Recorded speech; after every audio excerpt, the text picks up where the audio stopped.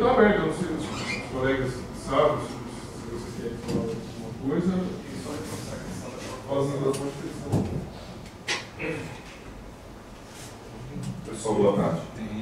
É, eu queria aproveitar a oportunidade para reforçar a proposta da PRPG em relação à distribuição, em relação ao, aos critérios de distribuição do bolsa que o André mencionou. E nessa, né, nessa última reunião, nas últimas reuniões, acabou não passando. É, o que acontece? Vou dar o um exemplo nosso aqui. Nós somos o Estado, estamos na União Soviética.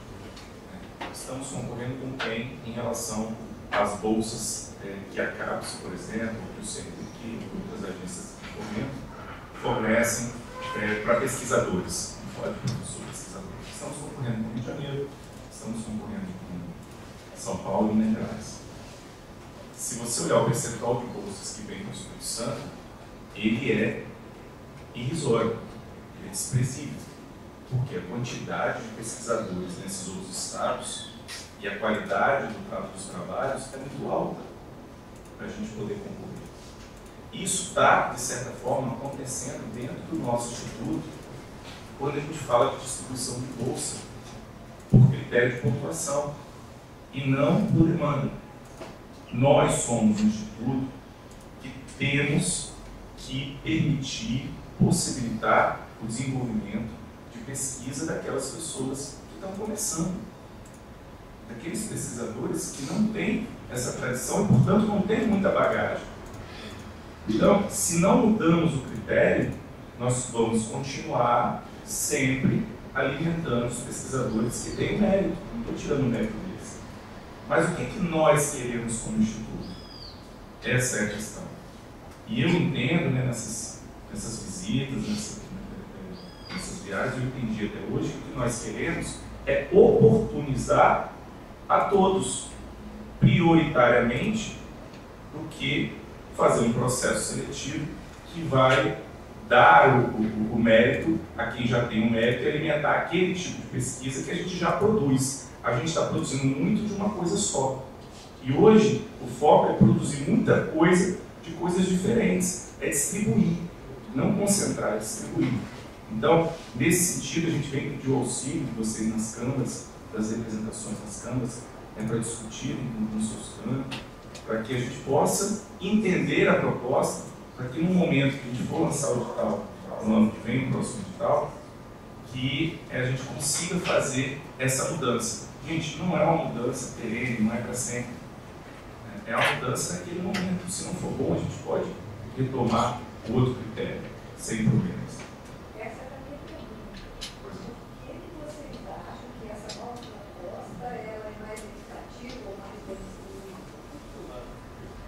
problemas. Porque ela é feita em cima da demanda.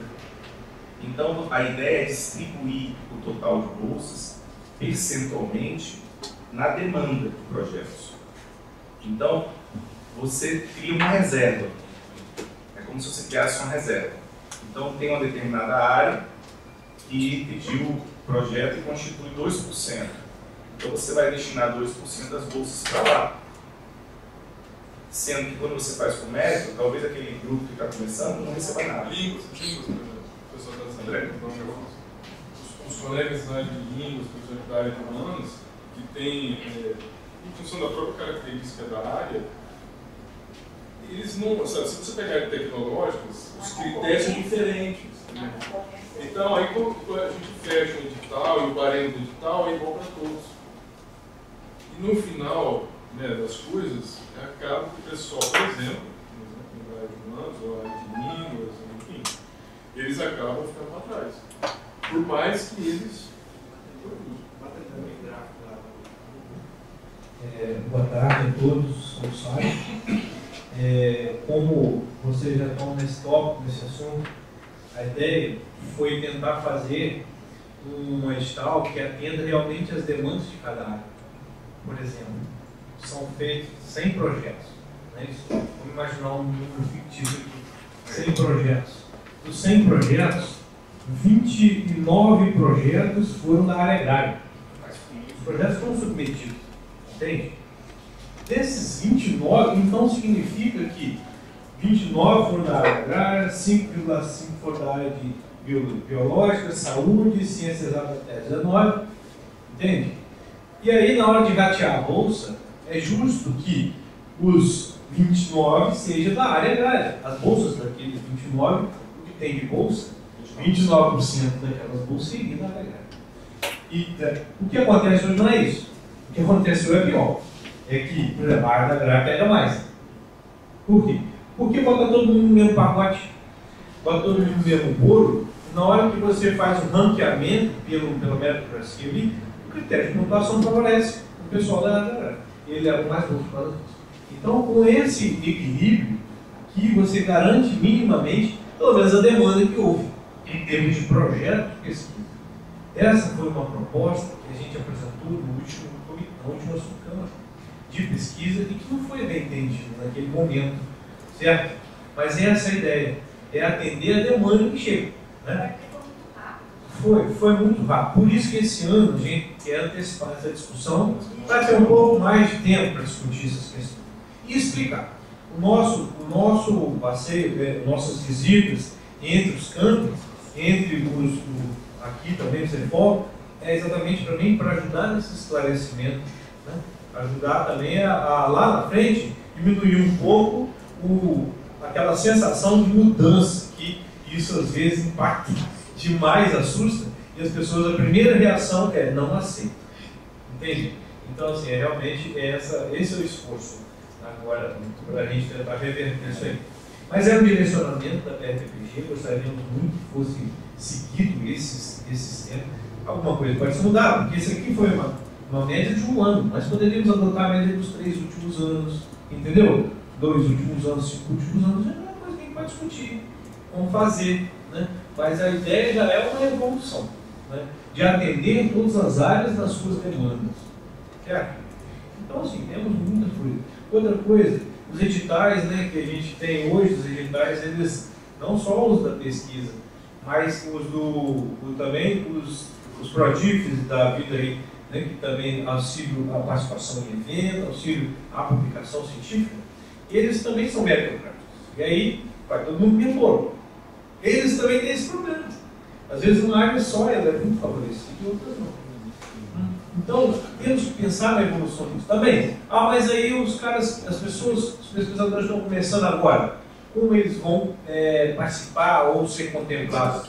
Não tem como botar tudo no mesmo pacote. Porque senão você não faz nenhuma coisa nem outra. Não faz, você não, não dá a meritocracia ao pesquisador que está na ponta, que tá, e deixa eles brigar entre eles, que são os bons lá, que estão tá na frente, estão na frente. Não é isso?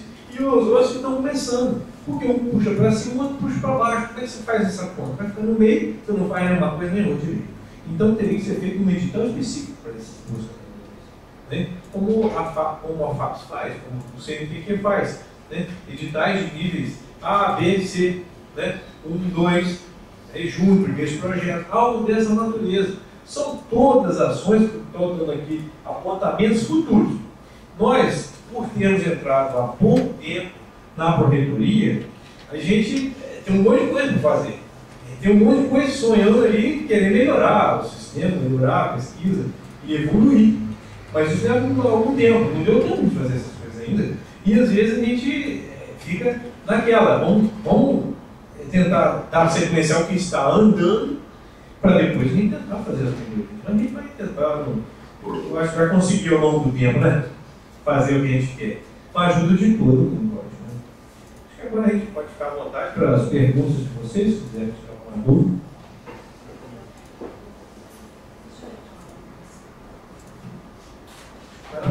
Vocês não se importam de ficar sentado, não? Ainda não. Tá.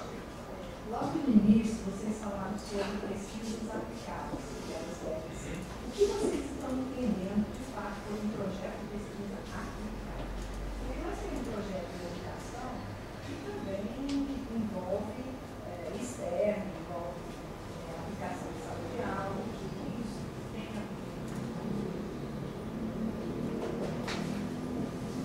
por, por prática, por fazer a PRPG, eu não vou nem definir, eu não quero estigmatizar o que é aplicado e o que não é. Porque essa definição, por exemplo, não foi definição da PRPG, essa definição está lá na, na base que a gente extraiu, que é do expert. O expert tem essa possibilidade, ele dá a possibilidade de você fazer um levantamento do que é uma pesquisa aplicada, do que é básica. Lá tem a opção, é básica ou aplicada? Você clica lá e puxa o que é a básica. Ele não explica lá o que é básico, porque isso depende da onde? Do pesquisador, como ele introduziu essa informação lá no LADES. Né? Então, essa, é, essa informação, ela vem toda, não é uma informação da BRPG que nós o que é básico o que é aplicado. Agora, a nossa legislação nem é, explica assim, tem uma definição do que é uma pesquisa aplicada. Né? Mas tem, tem eu já, vi alguns colegas, inclusive livros, é, dando definições para uma pesquisa, depois passar para o assim, o que é uma definição de pesquisa aplicada básica. Eu, da, da minha parte, de vista da RPG, a gente não quer estigmatizar isso, porque é, eu quero dar liberdade para o pesquisador pesquisar. A nossa instituição, é, depois da Fernanda disse, né, a nossa instituição tem 100 anos contra o Cefet, contra todas as outras instituições que juntos, quatro, formaram o Instituto Federal. Porque uma coisa que para mim é aplicável na área de educação, educação matemática, é completamente diferente se uma pesquisa aplicada na engenharia. Sim, Sabe, e a pessoa lá não se Ah, pode Tem outro microfone? Já, sobre outro microfone? Já, a pessoa na frente. Mas assim, eu vou passar para o Saulo, mas essa definição de, de, pesquisa aplicada, em geral, os, é, assim, quem trabalha com inovação, eles definem, sabe, como pesquisa aplicada, algo que você vai desenvolver que tem uma ação imediata sobre algo que já existe ou não, mas uma ação imediata. Só que tem coisas que você pesquisa e o imediato, o que é alguma coisa imediata? Você está entendendo? Isso é uma definição tão tênue, às vezes que você não. Então, na minha visão, para que eu estava falando que a nossa instituição nasceu do ensino. Você olha para a universidade, por exemplo, eu vim de uma universidade que ela não nasceu do ensino, ela nasceu na pós. Da pós é que veio o ensino. Então, a consideração e a importância que se dá para a pesquisa é infinitamente maior do que na nossa instituição, que tem uma história totalmente às avessas. Nós nascemos do ensino. E estamos incluindo a pesquisa que não é. Veja, a pesquisa não é um, um a mais que a gente faz, não é uma obrigação da nossa instituição. A gente tem que fazer pesquisa, tem que fazer ensino, tem que fazer extensão, é uma obrigação. É, e como é uma obrigação, eu não vou ficar delimitando o que é pesquisa, eu quero que o pesquisador pesquise. E eu quero dar a possibilidade para que ele pesquise. Bom, só para repetir, você perguntou o que, que a diferença de pesquisa básica é aplicada, para registrar lá no, na Câmara. É o seguinte, é, alguns critérios são utilizados, mas é, é, muito mais evidente na área tecnológica do que numa área de, ciências sociais aplicadas, então ciências humanas né, ou educacionais. Realmente aí o, o fica um pouco mais difícil. Mas se eu tivesse que explicar de maneira simples, pelo menos até onde eu entendo, pesquisa aplicada seria algo para resolver problemas. Problemas que já existem. Problemas que você gostaria de ser, é, ou, ou algum processo que gostaria de ser aprimorado, ou um problema que não há uma solução evidente e que através da pesquisa você desenvolveria parte da solução ou a solução. Certo? A básica, se, a ideia seria realmente algo que você não está mirando lá no final, uma solução de alguma coisa. Certo? Algo que seja é, simplesmente um aprofundamento, um entendimento, uma abrangência maior de conhecimento, nesse sentido. Né? É, bem simplesmente é assim que a gente entende. Mas pode falar.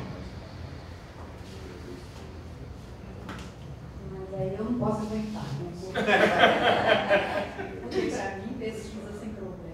É, a gente começa com começa com um problema. Por isso que é muito tênue. Agora, esse problema, às vezes, não tem ligação, vamos dizer assim, com a, o contexto, o contexto social, Sim. o contexto de produtividade. Né?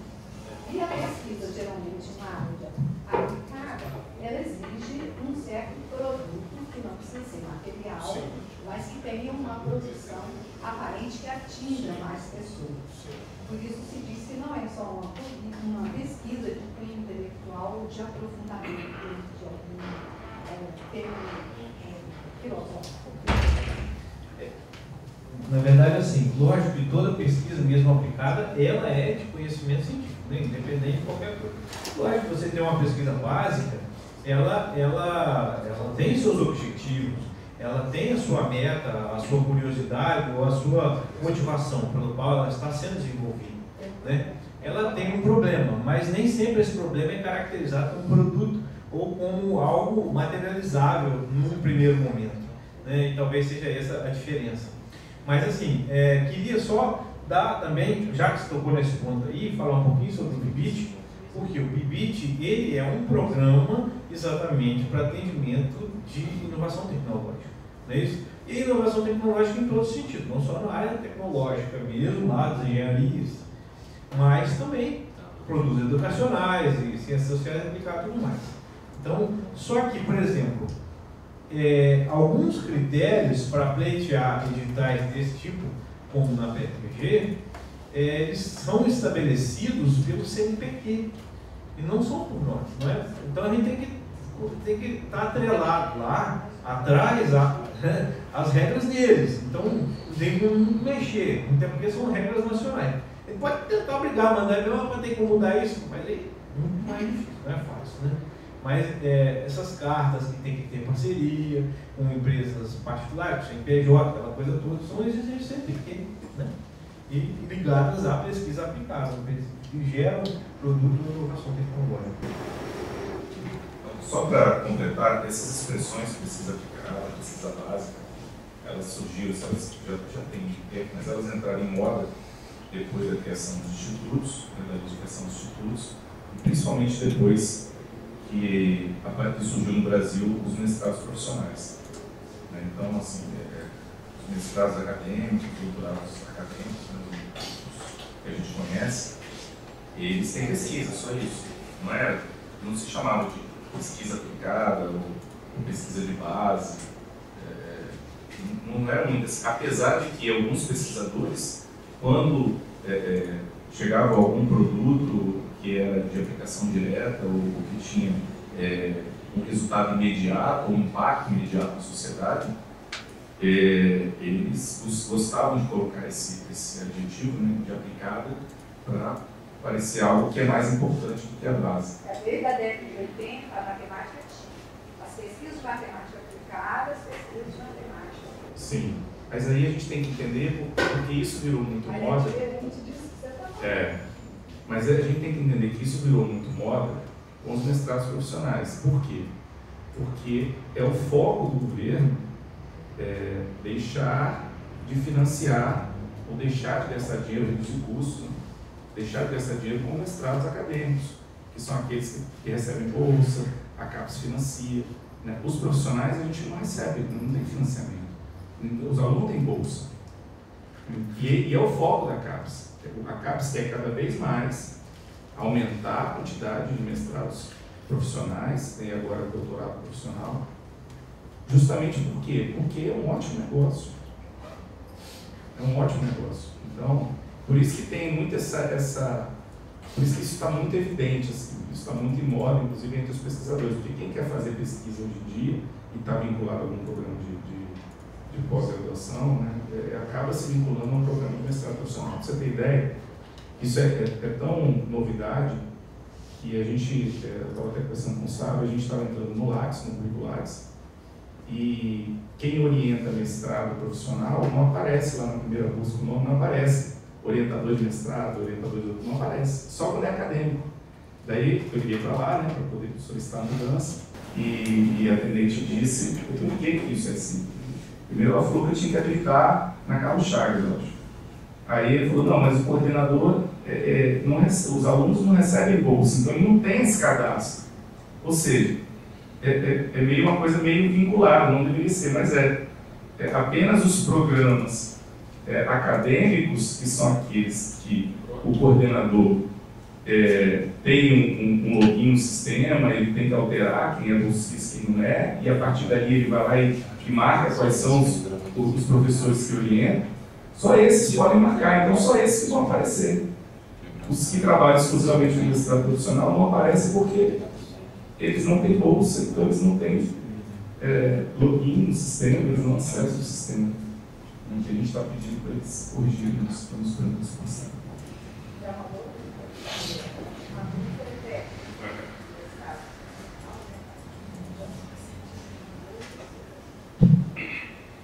Então, eu gostaria de comentar, que, olha só, a pesquisa básica, na verdade, vai desenvolver um conhecimento novo, é um, um conhecimento científico.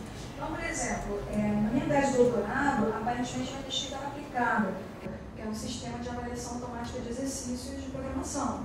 Mas por trás daquele software tinha uma pesquisa básica, né, que era o desenvolvimento de um modelo matemático para que aquilo ali funcionasse. Então, a gente, eu, eu entendo que a gente não deve ver as coisas separadas né? até porque um, um, conhecimento, às vezes uma fórmula matemática, né? você faz uma descoberta que vai impactar, por exemplo, em redução de custos né? de, de uma operação de, de, um produto ou então de uma máquina. Então, aí, então é, importante a gente ter essa diferenciação. Eu acho que a pesquisa básica tem mais a ver com a experimentação e a pesquisa aplicada mais com a experiência e com a prática, porque não tira o mérito de ser uma pesquisa também. Né? Então, aqui os nossos colegas da educação, é, até porque a gente é, é uma instituição de ensino. Então, acho que a gente tem que desenvolver pesquisa no ensino. Né? Aí, quando a gente vê ali é, o número de bolsas, os colegas são pouco contemplados em favor do pessoal de engenharia.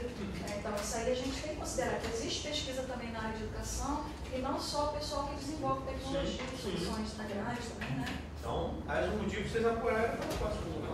Deixa eu só, assim, só para falar para vocês, é, no entendimento mais do que a gente ficar aqui definindo o que é uma pesquisa básica, uma pesquisa aplicada, eu quero dar possibilidade para os colegas de acesso. Eu acho que isso é muito mais importante, muito mais interessante a gente. É, é porque é, eu acho que até existe interesse, não nosso, mas interesse de outras pessoas, que a gente se perca em definir o que é pesquisa básica, pesquisa é, é, aplicada, porque eles sabem muitas vezes que o professor é doido para querer arrumar né, pelo novo, e a gente vai ficar perdendo muito tempo quando a gente tem que discutir como que a gente vai conseguir recursos, como que a gente vai favorecer os colegas para poder trabalhar, porque tem coisas tão mais complicadas, sabe, que a gente quer horário, e eu acho que a gente tem que se unir para poder favorecer. Então eu quero, sabe, é favorecer isso, sabe? Se vai se aplicar, se vai, eu não vou entrar nesse método, porque para mim a pesquisa por si só, ela é importantíssima. Seja ela básica ou aplicada, e o que for ou não for aplicado, ainda que na lei esteja né, informando, não, não posso fugir da nossa lei lá, falando que prioritariamente vai ser preciso aplicar a nossa lei. Mas assim, isso é tão tênue que, é, como eu falei pro, na época na reitor, o Denis, aquela portaria 17, por que pesquisa aplicada? Porque, é. quer dizer, então eu estou trabalhando com. Eu só falei motivado no seu. É, é. é. Não, mas eu não estou querendo desqualificar, estou falando que às vezes não é para nós, falando, às vezes existe assim realmente o que é e o que não é, quando a gente precisa, eu, eu acho que é se unir para, tipo, sabe, o que eu quero fazer, como que vai vir dinheiro para mim, com a questão de tempo, eu acho que essas questões. Eu não faço diferenciação nenhuma, todas as pesquisas são importantes, todas, eu não estou falando da boa proposta, são todas. Eu quero fazer uma colocação. É, só pegando o gancho com a Márcia, é, é meio complicado essa questão mesmo de pesquisa básica e pesquisa aplicada. Eu já vi muitos mestrandos e doutorandos de mestrados e doutorados acadêmicos que tinham aplicação direta com a indústria, com a produção de novos, novos uhum. medicamentos, é, novos catalisadores para serem aplicados na indústria. Então, era uma pesquisa aplicada também. Sim, sim. Básica e aplicada. Então, assim, isso aí fica meio complicado. E na área de ensino, nós temos uma, uma aplicação direta. Nós temos produto educacional, a gente tem é, pesquisas que realmente é, é são muito. Mas essa é a coisa mais comum né, do mundo. Até há pouco tempo atrás, ninguém sabia o que era pesquisa aplicada é. nas universidades. É. Na verdade, já tinham já estavam fazendo há muito tempo, só que nunca foi considerada, classificada dessa forma. Né? Porque a gente desenvolve tanta tecnologia, Aí Estados Unidos vai lá e patenteia, a Holanda vai lá e patenteia, a, a Alemanha e por aí vai. A gente perde isso. Mas agora despertando um pouco mais para isso, né? Mas o fato é o seguinte, que, por exemplo, vou dar um exemplo dos nossos programas, o PIBIC e o PIBIT. Né? O PIBIC, ele é pesquisa sem ser aplicada, não tem essa exigência, a princípio. Então ele aceita tanto pesquisa aplicada quanto não aplicada. Entende? Ele pega tudo. Né? Ele não tem essa restrição. Então é, é difícil você realmente separar, porque já se vem fazendo a pesquisa aplicada dentro do âmbito acadêmico há muito tempo. Né? Deixa eu falar só um pouquinho. Todo mundo preparado. Bom, isso é muito bom. Bem, é, é só um estímulo à reflexão e eu apoio o que vocês estão pretendendo, as pretensões de, do estímulo à pesquisa, mas eu de fato acho que é uma hipótese a ser testada, confirmada ou não. Porque a gente não tem certeza se pela oferta de bolsas para aqueles que têm uma produção pequena, vai de fato estimular essa pesquisa. Eu digo isso pelo seguinte, eu vejo, não só no CEFOR, mas entre os pesquisadores de um modo geral, que quem faz pesquisa, faz pesquisa com bolsa, sem bolsa, com dinheiro, sem dinheiro, digo mais, tirando o dinheiro do bolso. É a nossa realidade. Trabalhando mais 40 horas. E trabalhando muito mais 40 horas e batendo ponto eletrônico de 40 horas, ou seja, mentindo, né? Porque o pesquisador, de fato, ele não tem final de semana, não tem feriado, não tem férias, e a gente faz pela causa porque, de fato, se debruça sobre aquilo. Então, eu aposto no que vocês estão fazendo, apoio, mas eu, de fato, vou querer ver o resultado disso. Né? E uma triste realidade que nós estamos vivendo no CEFOR foi o desembarque da extensão a extensão está quase que zerada, e o desembarque do programa PICT. Nós só teremos uma proposta no, no edital PICT, e assim mesmo, porque é da nossa coordenadora de pesquisa, tá? eu não, não propus esse período porque existe a iminência de, de sair para o pós-doc, enfim, mas aqueles três que vocês viram são de pessoas que, que é, fazem a pesquisa sem qualquer exigência de contrapartida financeira, ou porque o aluno tem bolsa ou não tem bolsa. Então, eu acho que a questão passa, de fato, por outras vias. A gente não tem incentivo à pesquisa no IFES. Não tem. A gente, e nem a extensão. Obrigada pela, pela, pela lembrança, é isso mesmo. Eu, por exemplo, fui a última a desembarcar no CEFOR da, da, da extensão, um, um, trabalho super legal que estava sendo feito, associando inclusive pesquisa, que tem gerado alguns livros, algumas coisas que a gente vem divulgando, mas é impossível. Por quê? Porque a gente tem uma carga horária grande de, de, de ensino, somos todos administrativos, praticamente todos aqui Todos os professores são administrativos, é, abrindo parênteses, sem remuneração para isso, mas fazemos também pela causa, porque queremos ver a coisa é, fluir.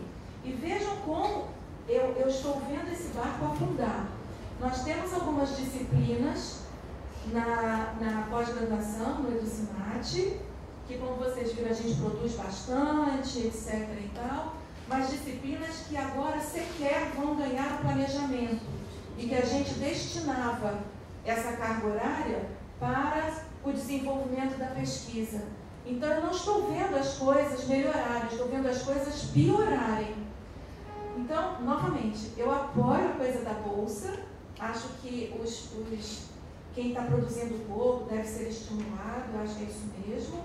Mas quando eu ouço vocês dizerem que nós somos uma instituição de ensino, pesquisa e extensão, eu ainda acho que isso só está no discurso. Não de vocês, mas da, da coisa estabelecida no IFES. Isso me incomoda muito, muito. É isso. E eu queria só complementar a coisa da certificação. Há uma preocupação grande a gente já conversou largamente sobre isso, mas eles precisam saber o que nós conversamos, né? há uma preocupação grande e uma angústia muito grande dos nossos servidores em relação ao que, é, como a gente vem emitindo esses certificados, né? E aí eu preferiria que o André falasse sobre isso para vocês. Ô, Ju, faz que eu já respondi. Não, pode continuar, porque eu vou fugir do assunto. Ah, é? Então, a respeito dessa questão, eu acho que é uma preocupação, sim, válida a questão da carga horária. Aliás, eu só tenho 10 anos nisso, vou fazer 10 anos agora em setembro. Desses meus, parece que foi ontem, mas passou tão rápido esses 10 anos, desde quando entrei aqui, tem esse trem de carga horária em que a gente não se sente contemplado faz essa questão. E foi em função disso que nós nos reunimos, eu, Gustavo e o para tentar, sabe, desvincular um pouquinho essa questão da carga, a gente fazer uma proposta que envolvesse carga horária, vai desvincular um pouco da resolução que vai sair. Porque veja bem, não tem como a gente brigar com o ensino. Não tem como. Sabe? Não tem como porque é, há uns anos atrás havia muita assim, discussão incisiva, sabe? Ah, porque ensino, não sei o. Não tem como a gente fazer isso, não vai dar certo isso. Então, a gente conversando, a gente a gente, é, existe uma proposta, nós escrevemos essa proposta, eu já conversei com o Jadir, a gente está alinhando essa proposta, é uma proposta de, é, de pesquisador de produtividade, não é bolsista, até tem, uma, tem lá a possibilidade de ganhar bolsa, mas a gente não pode ter lá uma bolsa definitivamente sem, porque existe uma resolução 44 aqui do IFES, o valor da bolsa é muito grande, a gente não tem como bancar isso. Então existe a possibilidade, lá em a bolsa tiver recurso. Por isso que não chama-se bolsista de produtividade, é pesquisador de produtividade. Aonde nós estamos atrelando carga horária. E não é a carga horária que vai estar nessa resolução. É uma carga horária da, do naipe de 20 horas, 15 horas, ou seja, é algo para que se faça alguma coisa é, adequada. Na resolução de carga horária, é, não estou autorizado aqui, não sou presidente da cultura, eu faço parte, não estou autorizado a falar muito dela, mas a gente não chegou nessa parte ainda da, pesquisa em termos dos fracionamentos aí, Mas eu, eu é, assim, na questão da pesquisa, no pleito da pesquisa, eu posso falar para vocês, sou eu, e Pedro, que a gente, nós estamos trabalhando para que ela seja respeitada, porque a gente tem esse direito. É, eu tenho conversado com eles, sabe também, a respeito de, de posicionamentos, da minuta que existia antes, e a gente está trabalhando em cima dessa minuta semanalmente a gente tem se reunido. E vai ser colocado também né, essa questão da carga horária para que todos os colegas possam opinar a respeito dela, antes que ela saia. Mas, de fato, a portaria 17, também na minha concepção, foi um retrocesso. Na minha concepção, foi um retrocesso também, porque é, a gente está fazendo uma interpretação, com a ajuda de uma professora de português, de um item da resolução 17, que aparentemente, quando você lê lá, parece que ela coloca tudo né? a questão do planejamento, a pesquisa, a extensão, tudo junto com o planejamento.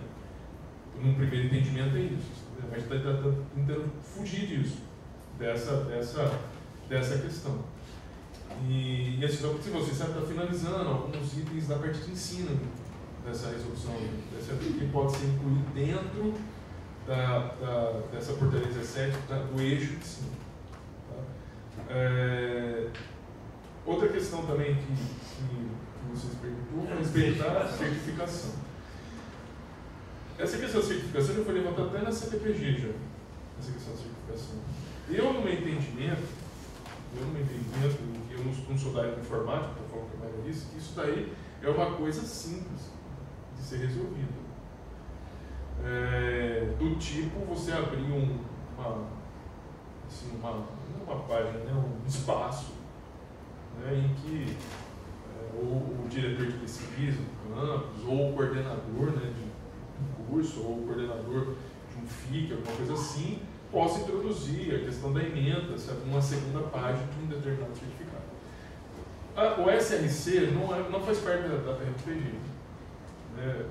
A gente está, eu, eu, solicitei isso daí para o nosso, nosso servidor que trabalha na parte lá de TI, vou voltar a conversar com ele conversei com as meninas que são da área de, da, da TI, aparentemente é uma coisa simples que a gente precisa fazer, ou seja, eu defendo isso.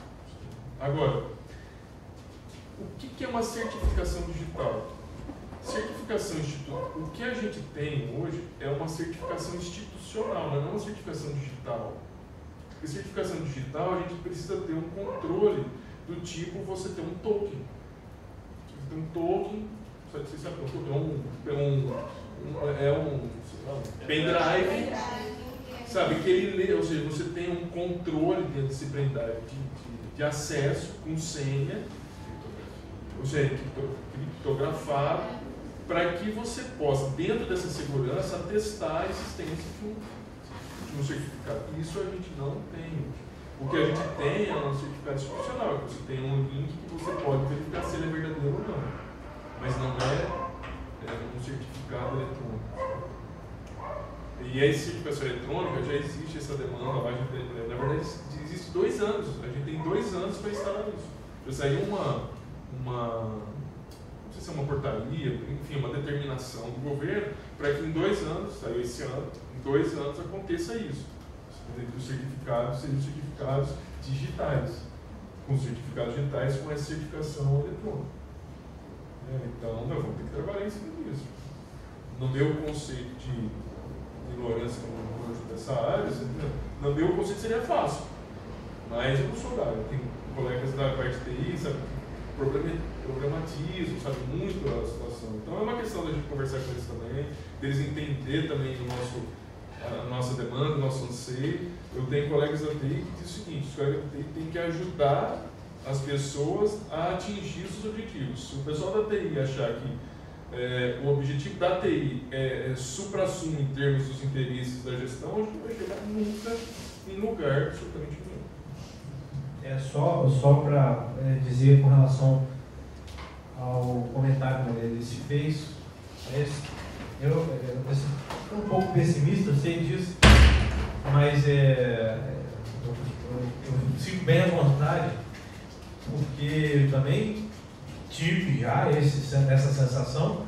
Na verdade, só passo parei de tempo PT na gestão, né? Porque, porque senão, ué, veja bem, eu lá no começo, né, quando eu comecei a, em 2010 aqui dentro do Instituto, é, lutava muito, porque não existia nada de pesquisa realmente ali, então não tinha. Assim, eu fui chamado de vagabundo por estar fazendo pesquisa. Eu nunca fiquei com menos cargo horário que nenhum professor no meu campo.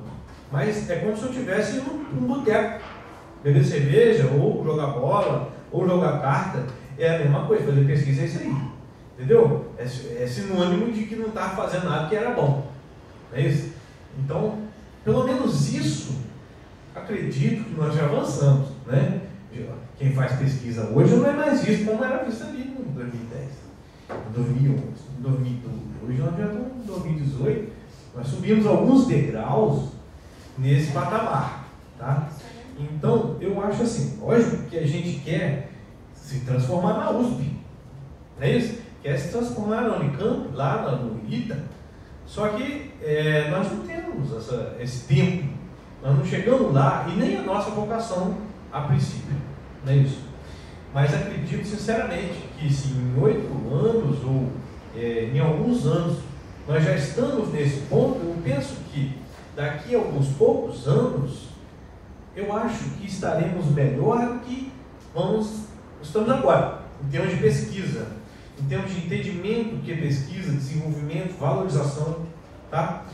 E assim, se agora nós sentarmos, cruzarmos os braços e as pernas e falar, olha, é realmente, pesquisa, o Instituto é só conversa fiada.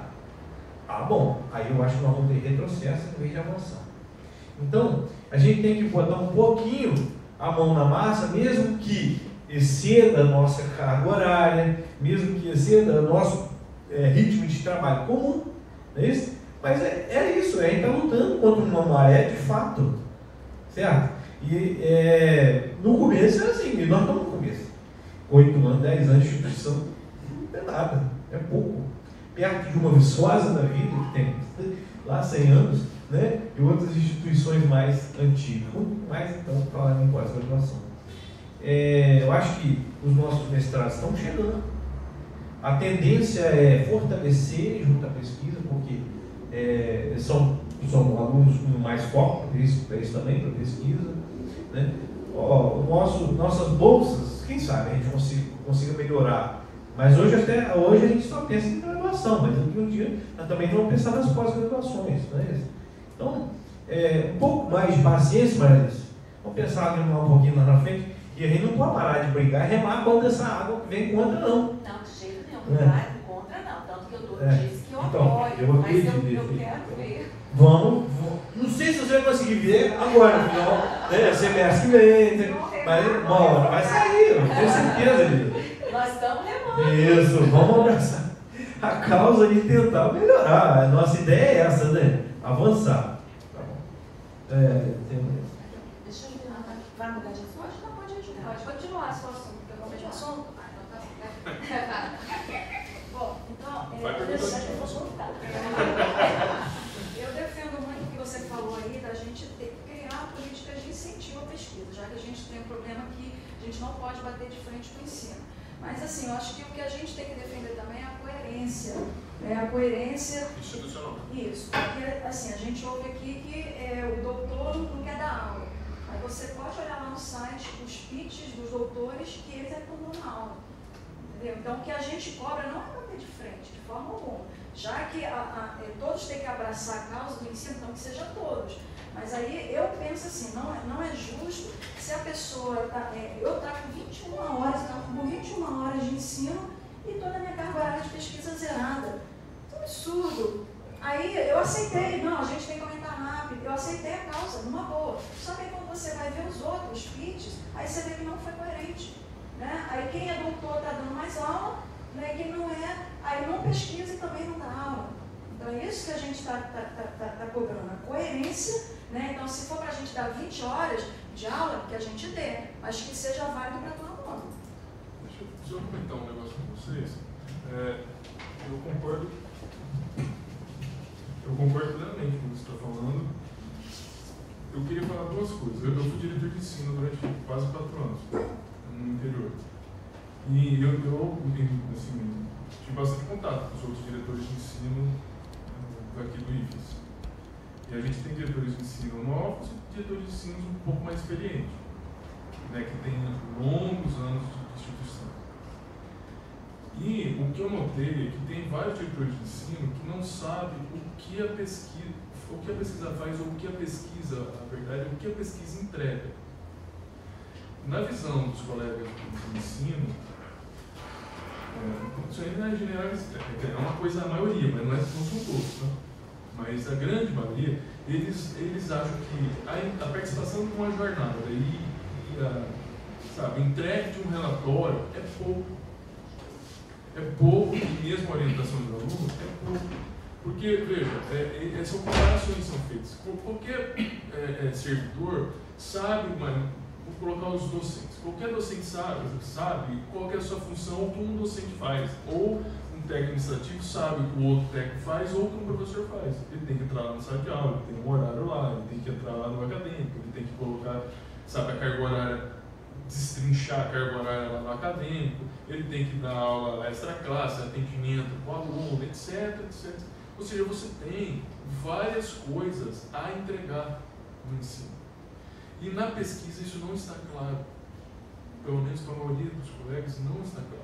E é justamente essa falta de clareza que passa uma ideia que quem trabalha com pesquisa não faz. Estou abertamente com vocês. Passa uma ideia que quem trabalha com pesquisa não faz nada. Então, eu sempre, quando fui diretor de ensino, eu, eu falava para os colegas: há necessidade de que a pesquisa deixe claro que o pesquisador tem que entregar, que não pode ser apenas, e esse apenas não é demérito, é o apenas para que os caras que estão lá no ensino entendam o que a gente está fazendo, que não é apenas orientar, que não é apenas. Você entende? Porque nós temos que entregar outras coisas, vai ter que estar muito claro. E isso, nesse projeto, esse programa que gente está propondo, tem coisas que não, é, não são apenas números nesse programa de produtividade. Não são apenas números, ah, tem que entregar. Não é produtividade do CNPq, da FAPS que tem que entregar, sei lá, tantos artigos. Tem também número, mas não é, é muito mais do que isso. Sabe, a função do pesquisador é muito mais do que isso. Né? E a gente está pedindo muito mais do que isso. Para poder justificar, está entendendo? Um cara lá que está no ensino, por que, que eu estou querendo dar 20 horas para cara? Porque senão ele não entende. Entendeu? Ele acha que nós estamos dando hora demais para entregar pouco. Isso é um problema. O outro é que você disse, que a gente está discutindo e que lá na resolução nós estamos discutindo também. Essa questão lá no ensino, e é uma questão que as coordenadorias não têm resolvido isso, que é a distribuição igualitária de carga horária. Eu compreendo que bem, institucionalmente nós temos que fazer os três. Na verdade, nós temos que fazer os quatro. Que a gente não está falando, mas tem a parte de gestão também. A gente nem está cuidando, mas são quatro coisas que nós temos que fazer. Nós temos que trabalhar na gestão, no ensino, na pesquisa e na extensão. É, o que acontece, quando você vai fazer uma distribuição de carga horária entre os professores, respeito que alguns colegas não têm interesse em trabalhar com pesquisa e extensão. Eu respeito. Porque tem pessoas que não se sentem à vontade, tem pessoas que não têm também mestrado doutorado, tem gente que tem mestrado e não quer fazer. Eu respeito essa, essa situação de que colegas não querem fazer. Mas na hora que você distribuir uma carga horária, esses ou todos os colegas querem fazer uma distribuição igualitária. Isso, na nossa concepção, está errado. É uma concepção equivocada de uma instituição que é almeja. É, é, é uma instituição que almeja atingir, sabe, lugares melhores de onde nós estamos. Não dá para fazer distribuição igualitária dentro de uma instituição que precisa fazer quatro coisas. Posso dar uma sugestão? Então pode. Então a gente, é, lá, a gente deve estar, nós estamos discutindo isso. Você entendendo? É, hoje, hoje é feita uma distribuição igualitária. Isso penaliza quem quer fazer pesquisa, quer fazer extensão, você entendeu?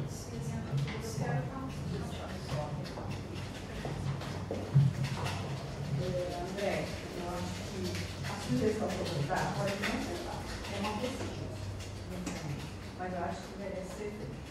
Em que, que a pesquisa que vem, sendo, feita no IFES, e aí nós temos mestrado, doutorado, tem contribuído para a gestão ensino. Porque eu acho que isso vai dar uma visibilidade no quanto a pesquisa contribui também para o ensino e para a extensão. E isso não tem sido feito. Obrigado pela sugestão. É, nós temos pelo menos cinco programas voltados para o ensino, pelo menos metade dos programas, né? Claro que contribui muito. É um argumento forte. Quantos pesquisadores que vêm será atuar também no ensino, de bom Sem dúvida. É, coitado, Depois passa para a Juju, por favor. Só, só complementando é, isso que ele falou, a questão é que o que é visto hoje em dia muito por aqueles professores que dão aula e preferem ficar dando aula exclusivamente é que é, a pesquisa, principalmente ligada à pós-graduação, ela retira recursos e drena a energia do campus e não devolve nada em troca. Isso é visão, claro que não é verdade, isso é um absurdo, mas é a visão. Isso. Então, quando o André colocou aqui que a pós-graduação ela deve ser realizada é, tendo em vista também uma contrapartida financeira, porque o que acontece? É, nós fomos criados, essencialmente pelo governo, com uma ideia. A ideia é vocês vão ser uma escola de ensino médio e graduação no máximo. É, esse, esse foi o desejo. O desejo de se tornar uma instituição com pós-graduação e, e forte na pesquisa é nosso. A gente que está colocando isso para frente. Nós, servidores, é que queremos mais do que nos foi dado né, para carregar. Essa responsabilidade a gente está puxando. O que acontece? Quando, quando a gente cria, né, quando a gente almeja como docente, poxa, eu quero fazer uma graduação, eu quero fazer um, um curso aqui é, para poder atuar e depois fazer uma pós, eu chegar no mestrado, porque eu gosto de atuar em pesquisa e é interessante. Quando eu faço isso, né, e aquele curso de mestrado ou, ou aquela pós-graduação, ela vem nos moldes de uma universidade, por exemplo, ela vem nos moldes, muitas vezes, aonde o aluno entra e o recurso vem da universidade. Aqui o recurso vem do instituto. Mas qual o, o, o, como que o instituto recebe dinheiro da União? Esse dinheiro vem principalmente por qual lado? E, é, assim, A gente tem lá 50% das matrículas é do ensino médio, 20% de formação de professores e 30% do que vocês quiserem. Então, primeiro, a gente já está nesses 30%, que é o que a gente quer. Segundo, é, o recurso é investido numa pós-graduação, no mestrado ou no alto senso é maior do que o que a gente arrecada com os alunos, por cabeça, em termos de, de é, do recurso que vem, né? do orçamento. Então, é, todo mundo percebe isso e o comentário maldoso é que aquela, naquela pós-graduação ela está drenando recursos que podia estar sendo investido onde a maioria dos professores que atuam, é, a maioria dos professores que atuam, atua apenas dando aula. Essa é a questão. A maioria absoluta. Tem campos ali que, não, que você não tem nem 10% que faz pesquisa. E, e, e, assim, efetivamente, é como eles falou, quem quer fazer, vai lá e faz. Sabe? Então, essa maioria, ela ganha muita voz. E até para se justificar, essa maioria utiliza esse discurso ali dentro. Ah, ah é, não sei por que, a gente tem pós. Eu já ouvi várias vezes no campus, sou de Carecica, é, a gente tem mestrado em física lá, a gente tem um, um, um curso de licenciatura em física, que atende aos 20%, e o mestrado é também no ensino de física, que atende também a formação de professores. E vários colegas já questionaram né, por que, que eles não foram ouvidos na implementação do mestrado, porque é uma política de 20% tem que ser formação de professores. Então a gente ganhou um mestrado lá. É um argumento lá que a equipe deu. É, assim, é, mas isso mostra claramente, independente de quem está certo ou está errado, esse conflito. É esse conflito que a gente tem que resolver. O professor que dá aula, ele precisa entender que se ele quiser né, colaborar com a obrigação do Instituto e, portanto, dele também de produzir ensino, pesquisa e extensão, gestão, né, gestão ele tem que possibilitar ao colega que está fazendo pesquisa de pesquisar. Como que eu vou, vou, ajudar? Por exemplo, eu não faço pesquisa, Maria Alice faz, que a gente está na mesma coordenadoria. Então, como que eu quero dar aula com a mesma carga horária dela e ela faz a pesquisa e eu olho para ela e falo, você faz pesquisa porque você quer? Não, ela faz pesquisa porque a obrigação dela é minha. É minha obrigação fazer pesquisa. Está lá, está escrito. Ensino, pesquisa e extensão. A gestão está no, no, no, nosso regulamento, mas na portaria 17 do MEC está lá, ensino, pesquisa e extensão. Então, é minha responsabilidade. Eu posso até falar que não é, mas isso não é verdade. É. Então, essa cultura precisa ser interpretada e entendida. O docente, ele tem a responsabilidade de fazer ensino, pesquisa e extensão. Se ele não quer fazer diretamente, tem quem queira fazer. E ele vai atuar como para viabilizar? Ele vai trabalhar em equipe, ele vai trabalhar em grupo, que é o que a gente estava discutindo hoje no almoço. As pessoas no Brasil têm dificuldade em trabalhar em grupo, é cultural. Né? As pessoas acabam vendo que é melhor fazer sozinho. Ah, eu vou fazer isso aqui sozinho, resolver, não vou esperar ninguém, não. Então, isso precisa ser alterado. Se eu sou da mesma coordenadoria da Maria Alice e eu estou dando aula, eu vou dar minha aula com uma carga horária máxima que eu puder dar para liberá-la, para ela poder fazer pesquisa, porque o trabalho que ela tem na pesquisa, apesar de não estar quantificado, como o André falou, eu sei quanto vale, eu sei como, como que vale, eu sei o que, que a gente ganha em troca. Principalmente, eu sei o que o aluno ganha em troca. Eu sei o que a comunidade ganha em troca. Então, quando eu tenho um aluno que faz pesquisa, assim como eu fiz quando eu era aluno, né, muda completamente a minha visão a respeito de tudo aquilo que é acadêmico. Muda. Eu passo a respirar um ambiente que é novo, e tudo aquilo que é novo traz algum benefício, um aprendizado. Então isso muda. E não é só para mim, porque como eu fico satisfeito em ver um mundo novo, eu acabo falando com as pessoas, eu acabo disseminando, eu faço boca a boca. E os meus colegas que não atuam, ou que não têm bolsa, ou que não fazem parte de nenhum projeto, passam a desejar isso. Isso é fomentar a pesquisa, da melhor maneira possível, sabe? Com exemplo. Então, é, é, é, as pessoas precisam enxergar isso e precisam entender que para que a gente consiga hoje fomentar pesquisa, nós temos que dividir o trabalho de maneira é, não igualitária em relação à carga horária, mas de maneira. É, como é que é o nome dessa expressão? Que permita que o outro. Né? É, equitativa. Tem que ser equitativo. Né? Você tem que ver né, o quanto que é cada um. Então tem que incluir isso lá. Isso só é feito com planejamento, em primeiro lugar. O campus tem que ter uma previsão de impacto de carga horária. Ele tem que saber qual é a carga horária que naquele semestre cada disciplina vai levar. Ele tem que saber quem é que pode dar que disciplina. Né? E para não entrar em conflito com a portaria 17, onde lá diz muito claramente que o principal é da aula, a gente não pode bater de frente com isso, né? o que, a ideia é sugerir uma metodologia de preenchimento de distribuição de carga horária. Então, que metodologia é essa? Então, primeiramente, existem disciplinas ainda em alguns campos que apenas um professor dá. Isso é ruim, mas existe. Existem algumas disciplinas em alguns campos que apenas um professor dá. Essa não tem jeito de você trocar com ninguém para liberar. Então essas têm que ser distribuídas primeiro. Você já sabe quem são. Distribuídas essa essas primeiras, você pode fazer a pesquisa. Quem tem pesquisa já separa a carga horária, como se fosse algo mesmo. Você já está distribuindo ali a carga horária. Já está tirando. Depois disso, tenta distribuir igualitariamente, aí sim a carga horária de ensino.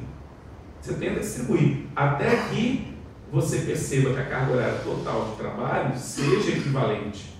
Você vai na carga horária total de trabalho. Claro que se você der a mesma carga horária de ensino para uma pessoa que faz pesquisa uma pessoa que não faz, você extrapola a outra. Então, você vai fazer distribuição, né, visualizando esse, é, é, esse equilíbrio máximo de total. E, se for possível fazer isso, no final das contas, você vai ter professor que dá muita aula, professor que dá pouca aula, mas que faz pesquisa.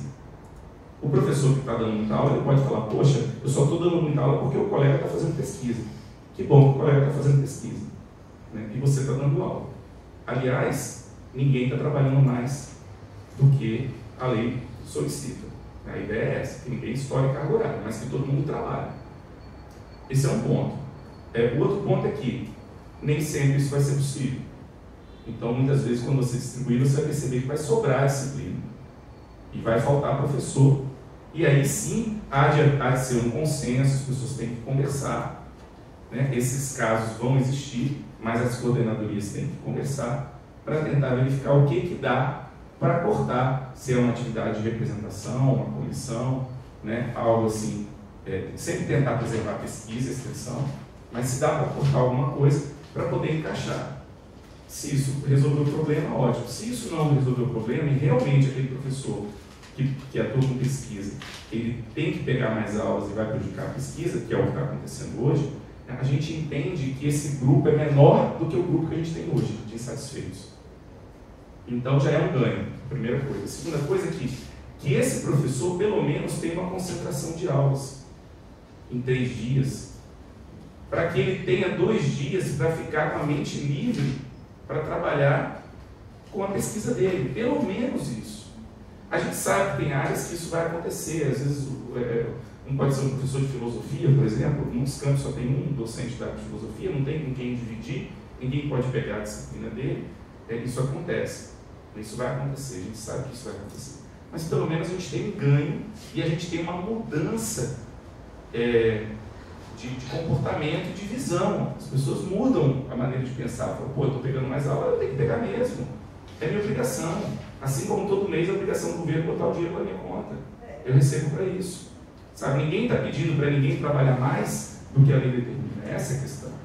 A questão que a gente está pedindo é para as pessoas trabalharem em equipe, para as pessoas reconhecerem o trabalho do colega. Se nós, docentes, não estamos reconhecendo o trabalho do colega, que dirá o governo? Essa é a questão.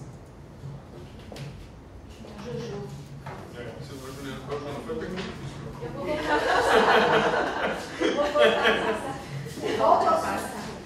Eu, eu vou voltar e aí me desculpe, porque na verdade é uma dúvida mesmo. Desculpa, não vai Só não perde dinheiro.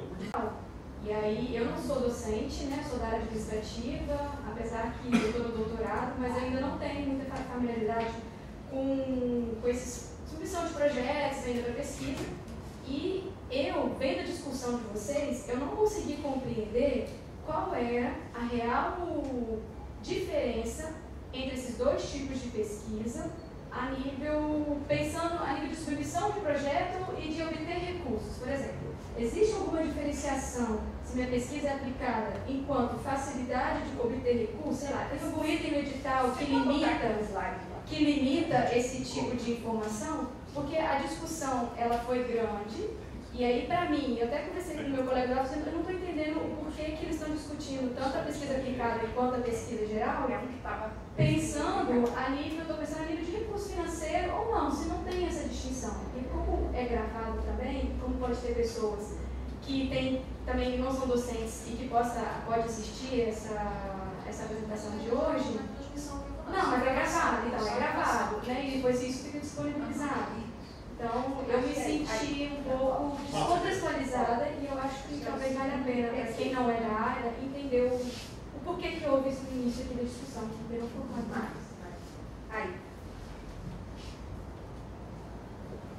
Por que foi colocado lá no azul? Eu acho que aí foi basicamente por conta dos bibis Isso não é né? Não, isso aqui é o. Isso aqui você Microfone. extrai Microfone. de uma fonte. Desculpa. Isso daí você extrai de uma fonte, que é o Stella. Lá no Stella você tem duas opções. Ele te dá duas opções, pesquisa aplicada e pesquisa básica. Da onde que o Stella tira isso? Do currículo Lattes. Então lá no Lattes, dependendo de como o pesquisador, isso é uma classificação do pesquisador, né, do IFES, é o pesquisador, ele está introduzindo as informações dele lá, e lá tem ações que no Lattes estão vinculadas mais a uma ação de pesquisa básica e mais de uma ação de pesquisa aplicada. Você veja que aqui está escrito pesquisa. É o pesquisador que define. É o do pesquisador. Não foi, não foi a PRPG, por isso que não foi a gente que pegou um resultado e falou, ó, isso aqui é básico, isso aqui é... A diferença é básica, a diferença das A coisas. diferença, Ju, que você falou, existe diferença, depende do edital. Tem editais, por exemplo, é, há uns anos atrás, teve um edital do CNPq voltado aos institutos federais, que exigia que você tivesse aporte financeiro de empresas e carta de interesse de empresas para realizar pesquisa. Quer dizer, se você não tivesse essa carta, se você não tivesse uma, tinha que ter um aporte financeiro, não tivesse um aporte financeiro da empresa, estava fora do edital.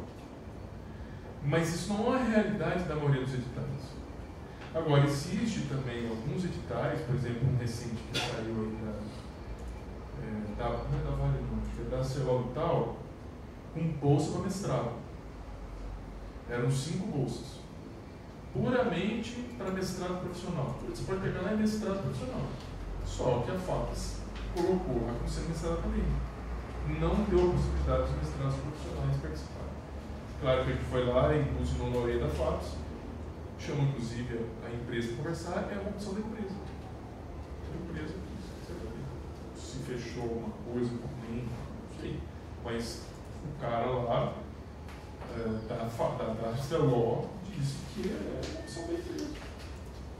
Então depende muito do edital. Tem edital que vai favorecer mais essa parte aplicada, ou seja, aplicada, assim, você tem que ter um foco no produto, então você tem que sempre desenvolver um, algo, eh, sabe, voltado para a inovação, para a geração de um produto, você está entendendo? Geração de patentes.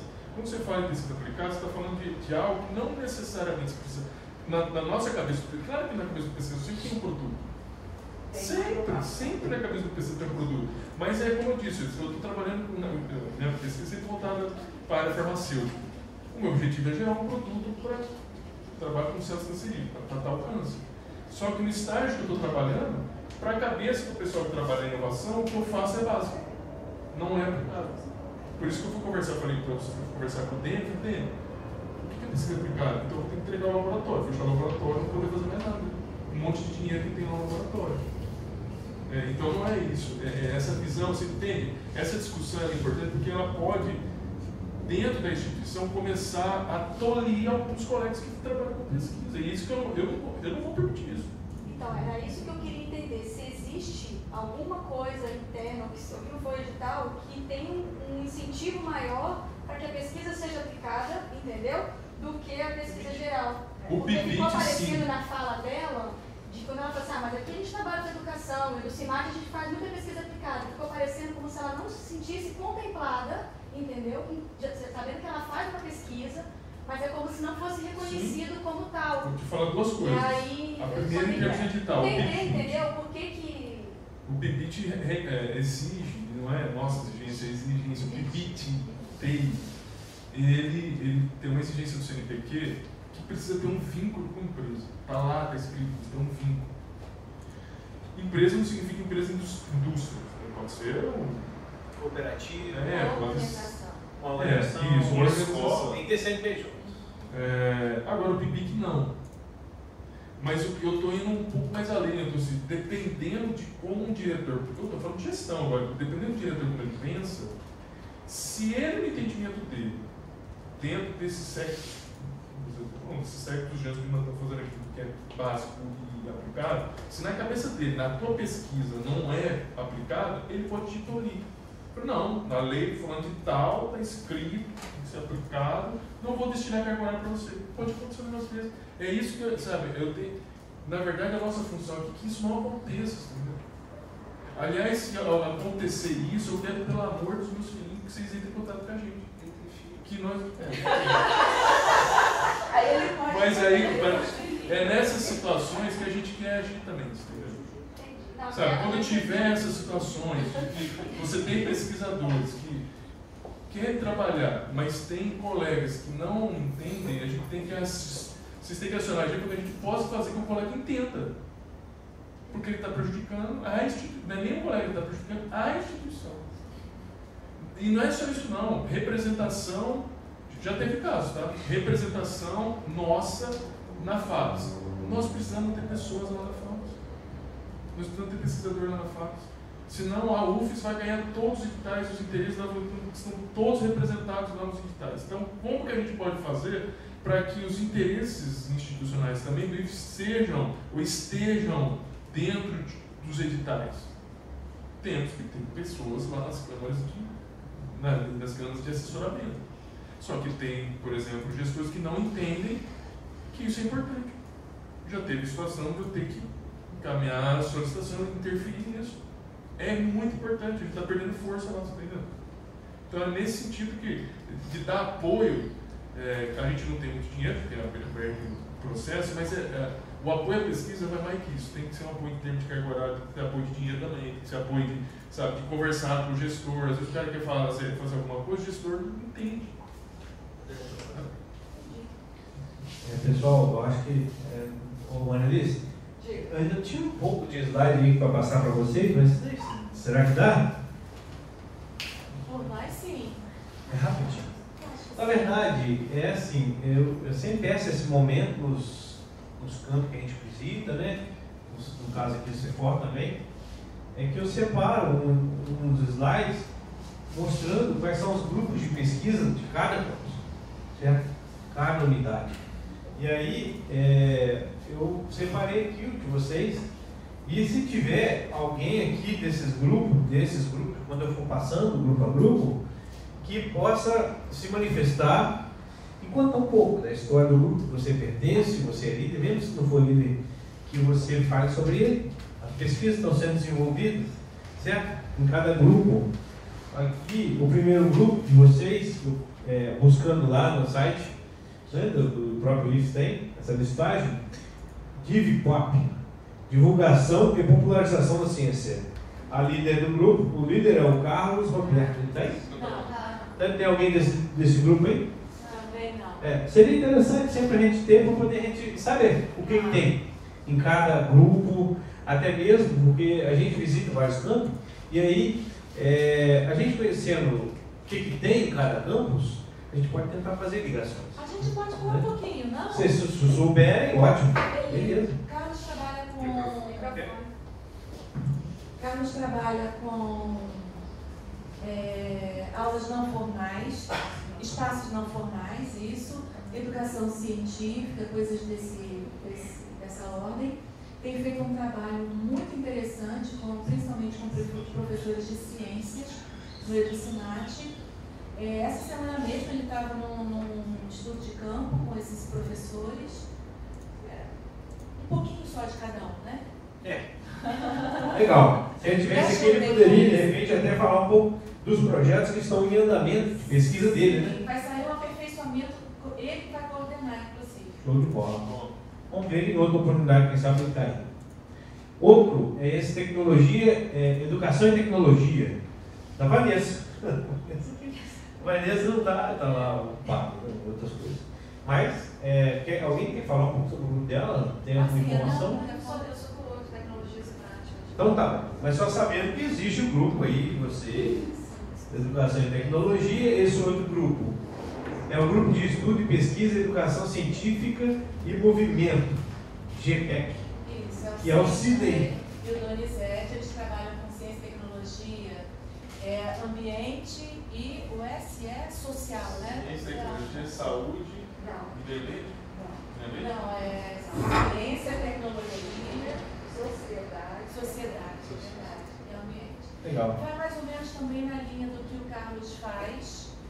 Também ele é professor de química, trabalha com ciências, também faz aulas, espaços não formais, educação científica. Ele é uma referência, inclusive, em CTSA no Brasil. Bacana, muito bom. Bom, já que ele não está aqui, vamos passar o outro. Esse outro é o grupo de estudo e pesquisa em educação matemática e financeira, do Hélio. Tá? O Hélio aposentou, mas continua aí na luta. Ah, é? Não, não desvinculou, não? Não, não desvinculou. Tá igual o colega Marinaldo nosso lá, que aposentou, mas a paixão é muito grande, né? não quer sair não. Enfim, é, a bandeira dele é a matemática financeira. Tá legal. Se- é, agora é o seguinte, ele, bom, ele ainda tem vínculo institucional, porque se de repente tiver alguma outra pessoa com vínculo, Ele- pegasse a liderança do grupo, Não, tá? Ele tem vínculo com o Educimat. Institucional eu não tenho certeza, acho que não. Mas tem outras pessoas no grupo que também trabalham Então, com você financeira. Eu vou Pede aí, esse- nem que seja para colocar como segundo líder. Não são pessoas do CEFOL, são professores do IFES de Vitória, porque aqui a gente tem muita colaboração do IFES de. Vitória. Por causa da. Aí vocês entrariam no acordo se o, se o grupo ficaria lá ou outro, Sim, né? Mas eu vou então te pedir para você dar esse encaminhamento, se ele não está mais, é certo. importante que a gente tenha. É, o grupo de, inova- é, de investigação e educação química. Esse aqui é o professor Sidney também, com Vilma. Avil, a Vilma é aquela professora que você levantou lá. Ah, tá bom. É, É, eles são da, da Química, né, e trabalham juntos também. É o segundo grupo do Sidney. Tá viu aqui? É a professora a primeira criança, é, é daqui. que legal. Tá bom. Outro grupo, práticas educativas em educação profissional e tecnológica. Daqui da Poliana. Poliana não estou olhando ela aí, né? É. Também falar alguma coisa sobre o grupo? É, eu não consigo falar, Não. É, pessoal do próprio PT. pois é, porque não é do Educinat. Tá certo. É, outro, tecnologias digitais e práticas pedagógicas, com o Isaura e o Edson. É. o Edilson. Você pode falar um pouquinho sobre o grupo? Não, a gente teve alguns projetos de pesquisa, né? é, todos eles vinculados ao grupo Tecnologias e Práticas Pedagógicas. É, até então, é, o que esse grupo produziu? Além das publicações que a gente tem na área de tecnologias na educação, é, a gente também desenvolveu dois softwares né, é, de avaliação automática de exercícios e da área de programação de computadores. E temos também é, artigos premiados também pelo, pelo grupo em, em congressos relevantes. E é, a gente tem uma equipe forte de iniciação científica, a Mônica é, um- é um exemplo aí que está, é, é bolsista PIBIT, né? Você quer falar um pouquinho, Mônica, do seu projeto? Já pego o gancho que eu queria falar também. É, eu sou aluna do curso de Sistema de Formação lá no Campo Serra, né? E Campo Serra. E eu descobri a Márcia quando o Cefó ainda estava. Eu era estagiária do Cefó, né? E aí a Márcia chegou para o Campo Serra. E hoje a nossa equipe de iniciação científica, né, a gente é composta por sete alunos do Campo Serra, só que só dois é bolsista, o resto é voluntário. Eu comecei com a Márcia como voluntária, porque eu tinha desejo de pesquisar, infelizmente os professores do meu campus, como vocês podem ver ali, não se importam com a pesquisa. Né?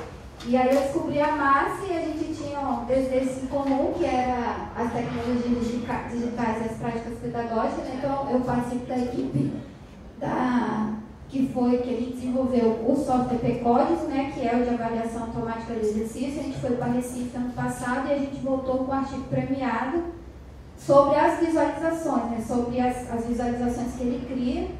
E a gente voltou sendo reconhecido lá no campus, né? Só que a gente fala que o mérito não é deles, o mérito é do CEFOP, porque a equipe da iniciação científica do CEFOP. E isso causou um pouco de ciúme lá, né? Mas a gente não tá isso. Porque a gente queria pesquisar lá dentro e eles não queriam dar. E hoje a gente tem uma pesquisa voltada para a dificuldade de aprendizagem de programação, né? Nós temos aí os, os cursos de programação à distância que a gente está se envolvendo. E agora a gente está indo para Natal, para o Fórum das Meninas Digitais, né? O nosso antigo foi aceito lá sobre o, a, as mulheres na programação, né? na, na área de TI. Era um gancho da SBC que eles estão pesquisando há algum tempo e a gente entrou nessa empreitada e a SBC aceitou o nosso artigo, inclusive o nosso curso já foi aceito, antes mesmo dele começar, já foi aceito pela SBC. É o primeiro curso EAD de programação. O, é o Cefoi pioneiro, não tem no, no, Brasil, né, voltado para meninos. Nós temos 35 meninos na nossa turma. Eu sou uma das tutoras voluntárias, né, porque eu não, tenho, não posso ter bolsa ainda de tutor. E, e a gente vai pesquisando no tempo que a gente pode, né, Márcia? Porque a Márcia daqui, eu sou do Conselho, a gente vai fazendo pesquisa à distância. Mas é como que, era o que eu queria falar com vocês, que eu até pedi pensar mais para me falar. Como que vocês, a PRPVD, podem incentivar os professores do camping a fazer a pesquisa? Porque, igual, no Campus 7 são sete alunos que vieram para o CEFOR porque queriam fazer pesquisa e aqui teve a oportunidade. E aí a gente se encontrou com a Maria Alice, que tem uma pesquisa muito boa, o grupo dela de pesquisa, nós estamos querendo juntar as iniciações científicas. Estão falando que querendo juntar os grupos, nós estamos querendo fundir os grupos aí porque os meninos delas pesquisam sobre os negócios da matemática, né, dificuldade de aprendizagem de matemática, e a gente sobre dificuldade de aprendizagem de programação, e a gente se encontrou na jornada no ano passado, e olha, nós temos pesquisa em comum, nós vamos sentar aqui e nós vamos pois é, foi a jornada, juntar as canetas. Nós trabalhamos lado a lado, foi na jornada que a gente percebeu que... a gente tem pesquisa em comum e a gente quer juntar as canetas aí para poder é. ir para frente, né? E é isso que eu queria saber vocês. Como vocês, quanto PRPPG, podem fazer esse sentido nos campos, já que vocês estão passando pelos campos, de chegar para os professores e falar, olha, tem aluno que quer pesquisar, por que, que vocês não submetem projetos? Lá no Campo Serra, eu descobri há pouco tempo que tem muitos projetos que é sequer publicado. Os alunos não podem publicar. A Márcia sabe, eu já tenho oito publicações no meu Lattes. Oito, inclusive um deles é um prêmio de melhor artigo os professores não querem publicar as pesquisas que estão sendo feitas. Assim, fica uma coisa ali para eles, eles não externam isso para fora. Com a Márcia, ele tem oito publicações já no meu Lattes. E as pessoas ficam vendo, nossa, pesquisadora, pesquisadora, pesquisadora. Eu falei, gente, eu só faço que a orientadora manda. Entendeu? E aí, secretaria de vocês, como vocês podem incentivar os professores, não é nem os alunos, porque os alunos você pode ver para mais os alunos querem, com bolsa, sem bolsa, mas é os professores que não querem submeter projetos. Inclusive, esse último edital que teve agora, eu fiquei sabendo que eu acho que nenhum submeteu. Tem duas maneiras. Tem uma, uma, das formas é a gente conseguir, a gente está batalhando para colocar logo em prática isso, é esse programa de, de pesquisa de produtividade, que a gente vai ter uma carga horária para o pesquisador, porque quando a gente faz isso, e eu dou, por exemplo, ou não, é, é, tem interesse institucional. Quando a gente coloca um programa desse, estou falando que a PRPPG vai, vai ter pesquisadores vinculados a ela com carga horária. Entende? Vocês compreendem isso? É um programa vinculado ao PRPG. É, nós estamos trabalhando com um número de 100, na verdade é um número de 200, como não tem dinheiro para dar dentro de 200 é, pesquisadores, não de uma vez, 100, 100 girando é, 200, assim, cada dois anos muda 200 mas sim 100 um ano, mas 100 no outro, mas sempre tirando 100 a cada dois anos. Só que a, a gente tem que tomar cuidado também, porque a ideia é que você tenha essas pessoas também no interior. Eu preciso falar. Então por isso que a gente está conversando, porque senão vocês vão ficar só aqui. Não dá. Aí está fora da cogitação. Isso. Então uma das coisas é essa. A segunda, a gente precisa atuar junto com o diretor também. Então por isso que eu, tô, eu preciso ser demandado também. Eu sei que tem problema, a gente precisa ser demandado. A terceira coisa é uma pressão dos próprios alunos, ou seja, a gente pode. Existe uma, uma resolução, eu não sei se é portaria uma resolução não, mas que vem da CETEC, a gente já está, sabe, da necessidade da, da escolha do aluno não ficar vinculado ao, ao, ao orientador. Uns anos atrás, o tal colocou isso. Eu não sei se quem tem um pouco mais experiente na instituição, nós tivemos um período em que os alunos se inscreviam para fazer, para fazer, os alunos interessados em fazer pesquisa. Isso é um número interessante. Porque esse número, eu posso pegar esse número e pressionar o, diretor. Eu não tenho esse número. Vocês entendem? Eu não tenho esse número. Se eu tiver um número dos interessados, dos alunos interessados em fazer pesquisa, não o potencial, falar, você quer fazer, você quer fazer, não. Um número mesmo. Já lá, se cadastrou, uma espécie de edital. Isso me dá força para pressionar o diretor do campus. Outro tipo de interessante. É. É, você tá entendendo? Então, essas são coisas que a gente está pensando. É, o Paulo o tal, né, quando foi diretor, ele fez isso. É, os alunos tinham que se inscrever, o orientador tinha que escolher. É, mas a gente não tem esse número. Então, são algumas dessas ações que a gente que a gente está passando nos campos, tem mostrado esses números, entendeu? Mas na reitoria itinerante, tem participação de alunos, e, e, e alguns tópicos colocados na reitoria itinerante é equipos de pesquisa. Não são todos, de fato não são todos. A maioria dos tópicos da reitoria itinerante são tópicos de infraestrutura. 100%, 95% é infraestrutura. Mas esses 5% é, teve alguns que colocaram como tópico especial o número de bolsas de iniciação científica. E aí a gente vai conversar com os alunos que querem fazer. A colega quer fazer uma pergunta. É gente falou que ia fugir um pouco, mas na verdade a minha colocação vai fugir bastante. Se eu sou não foi isso. Só pergunta de fugir pela porta. Você vai por aí ou pode por a gente? Pode por aí. É, é, a colocação ela, é, não é referente a essa discussão de distribuição de bolsas, de pesquisa, mas é um assunto que passa pela pós-graduação e que a gente tem discutido. Meu nome é Thalita, eu trabalho na CGPE, é mais precisamente assim, com a seleção né, dos cursos ofertados pelo CEFOR. E nos últimos, nos últimos dias surgiu uma discussão né, é, entre a gente lá no setor a respeito é, das cotas né, nos processos seletivos. E a gente, apesar de já ter uma conversa por telefone, por e-mail com a reitoria, a gente gostaria de aproveitar esse momento porque presencialmente é, talvez fique um pouco mais claro e mais fácil da gente discutir alguns pontos, né? É, a questão das cotas raciais, é, a gente levantou uma questão pelo seguinte, porque a gente entende que as cotas ela é uma medida para como uma reparação social, né? É, é, dessa, dessa deficiência histórica que tem no Brasil de desigualdade social que acarreta nessa desigualdade de acesso à educação. Né? E como tradicionalmente o Instituto Federal e a Universidade Federal, é, o ingresso é por é, teste de conhecimento, a gente entende que realmente é, é, é pertinente essa questão das cotas para poder dar igualdade de oportunidade é, para essas pessoas adentrarem, né, ter acesso à educação. Só que quando a gente fala em processos seletivos por sorteio, que é a grande maioria dos processos seletivos que a gente tem aqui nos cursos CEFOR, tanto de pós-graduação quanto de curso FIC, eles estão ocorrendo via sorteio, o sorteio, a lógica dele é dar, dar oportunidade a todos os candidatos.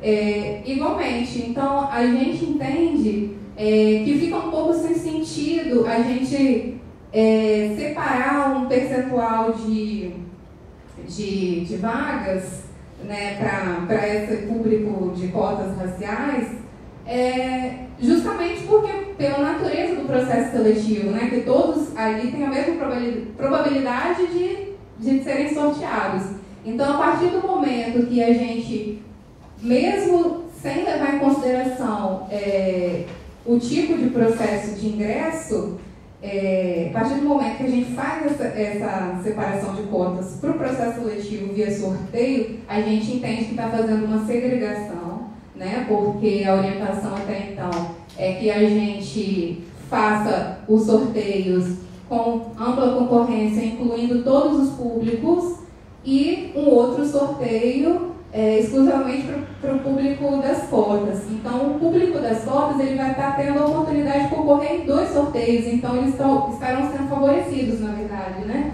E não, e, e não, é, acho que não tem que se falar nesse caso de igualdade de oportunidades, se ocorrer realmente dessa maneira. E uma outra colocação, só para finalizar, é que a gente fez uma breve pesquisa assim, dos institutos que utilizam esse meio de, de sorteio, processo seletivo via sorteio, e nós não encontramos, quando o processo seletivo é via sorteio, todos eles, nenhum faz essa separação de por cota, né? não, não, não faz essa segregação. Né? E tanto de curso de pós-graduação, tanto de cursos técnicos, quando é né, o ingresso é por sorteio, não tem essa, essa separação. Aí só, eu não sei se a gente pode levantar é, esse momento, mas eu acho que seria interessante né, a gente refletir, discutir um pouco sobre essa questão. Sem problema. Então, assim, de maneira sucinta, o nosso Instituto tem uma resolução interna que diz como deve ser feito o procedimento de preenchimento de vagas para cotistas e cotistas e não cotistas.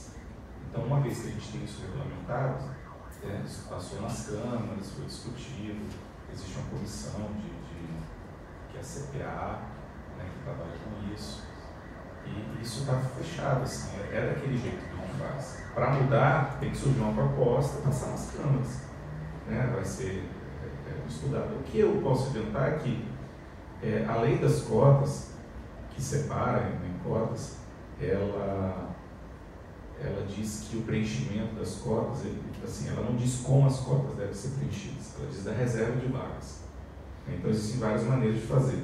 Você pode separar em grupo de ampla concorrência, cotista, preencher separadamente, ou preencher um primeiro, depois preencher o outro, não importa. A gente tem uma metodologia. Primeiro a gente preenche uma concorrência com todo mundo, depois a gente preenche o, é, os cotistas. E se o cotista já tiver, já tiver sido contemplado na tua concorrência, você pula e vai para o próximo.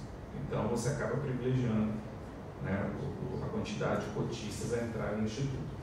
É, teve uma reunião, se não me engano, foi no final do ano passado, é, na CEP, é, ou foi no início desse ano, onde foi discutido isso também, não só para os cursos de pós, assim, de maneira geral no IFES, no Instituto. Né? Existe, um, existe um grupo que defendia que a gente deveria primeiro fazer o preenchimento das cotas e depois fazer de ampla concorrência. É, e mais acontece que na votação, né, a maioria decidiu permanecer fazendo primeiro os cotistas, primeiro a concorrência, depois os cotistas. Foi a decisão dos, é, dos representantes de vocês na sede, né, de vocês, eu digo de todo, de todo o Instituto IFES, né, na sede os representantes, quem está representando vocês lá, fez essa escolha. Né? Por daí é importante a gente estar tá sempre com essa representação. Acredito que é, é, é, isso pode ser alterado desde que o grupo submeta algum tipo de proposta. Né? O campo, se o campo tiver essa proposta, se submetir. Se quiser uma divulgação ou estudo, a gente pode emitir também, mandar para os campos. É, vai acontecer o que a maioria quiser que aconteça atualmente a maioria definiu assim. Então, a gente tem que seguir. E o processo de, de, de seleção, não necessariamente ele está vinculado à nota apenas. Né? Pode ser sorteio? Pode, mas é um processo de seleção, é um critério, não importa o critério. Né? Lá está bem claro, ele tem que preencher conforme a regra. Ok? Então vamos continuar aqui, o próximo grupo. É, bom, aí nós temos alguns grupos que têm é, algum grau de dificuldade, que está com algum probleminha. É, por exemplo, pesquisa e estudos em design educacional e inclusão. Não tem problema não, é só está faltando algumas coisas. Né? Quem está? Daniele? Opa! Enfim, nós chegamos. Bom, primeiro, vamos lá. Pô, eu vou falar do que você está precisando fazer aqui. Você, ó, em preenchimento você está faltando enviar o CNPq entrar no grupo, enviar o certificado. Ele fica certificado. Ele fica lá atualizado. Aí, depois que você enviar o certificado, você me dá um toque, manda um e-mail, uma mensagem, pede para a Maria Alice me, me avisar. Olha, enviei. Aí vai ficar faltando eu certificar lá. Mas isso é porque a gente fez a tem que enviar. Toda vez que você fizer uma atualização, tem que enviar. Ele manda, é. É, enviar o CNPq. Não, mas porque, na verdade, se, é, se, se ele já está certificado, não precisa nem me avisar. Que se ele aparecer verdinho, ali, do jeito que o anterior, por exemplo, aqui tá, ó, tá vendo? O anterior, ó, certificado, tá vendo? Aqui, se aparecer isso aqui, você faz lá mais nada. Mas se não, tiver aparecendo, aguardando certificação, aí você tem que me avisar que eu vou lá e ó, autenticar. Tá bom? Mas tem que enviar o CNPq. Gasta um tempinho com isso. Mas você quer falar um pouquinho do seu grupo? O que, que ele faz? Qual é, o, qual é o, as pessoas, suas pesquisas sendo desenvolvidas? Por que abriu o grupo? Um pouco da história dele, né? Aproveitar que agora nós somos uma líder de grupo aqui. Vocês não estavam inscritos, não. É, na hora. Chegou na hora certa. Na hora certa. Bom, gente, é, o nosso grupo de pesquisa, ele, assim, na nossa opinião, ele tem um diferencial, porque a gente tem muitos técnicos administrativos, né? Tivemos alguns abandonos, mas todo mundo se assim, abandona, mas fala que é temporário, porque eles gostam da proposta. E esse grupo surgiu da minha pesquisa de, de doutorado, porque a gente estudava educação à distância para pessoas com deficiência.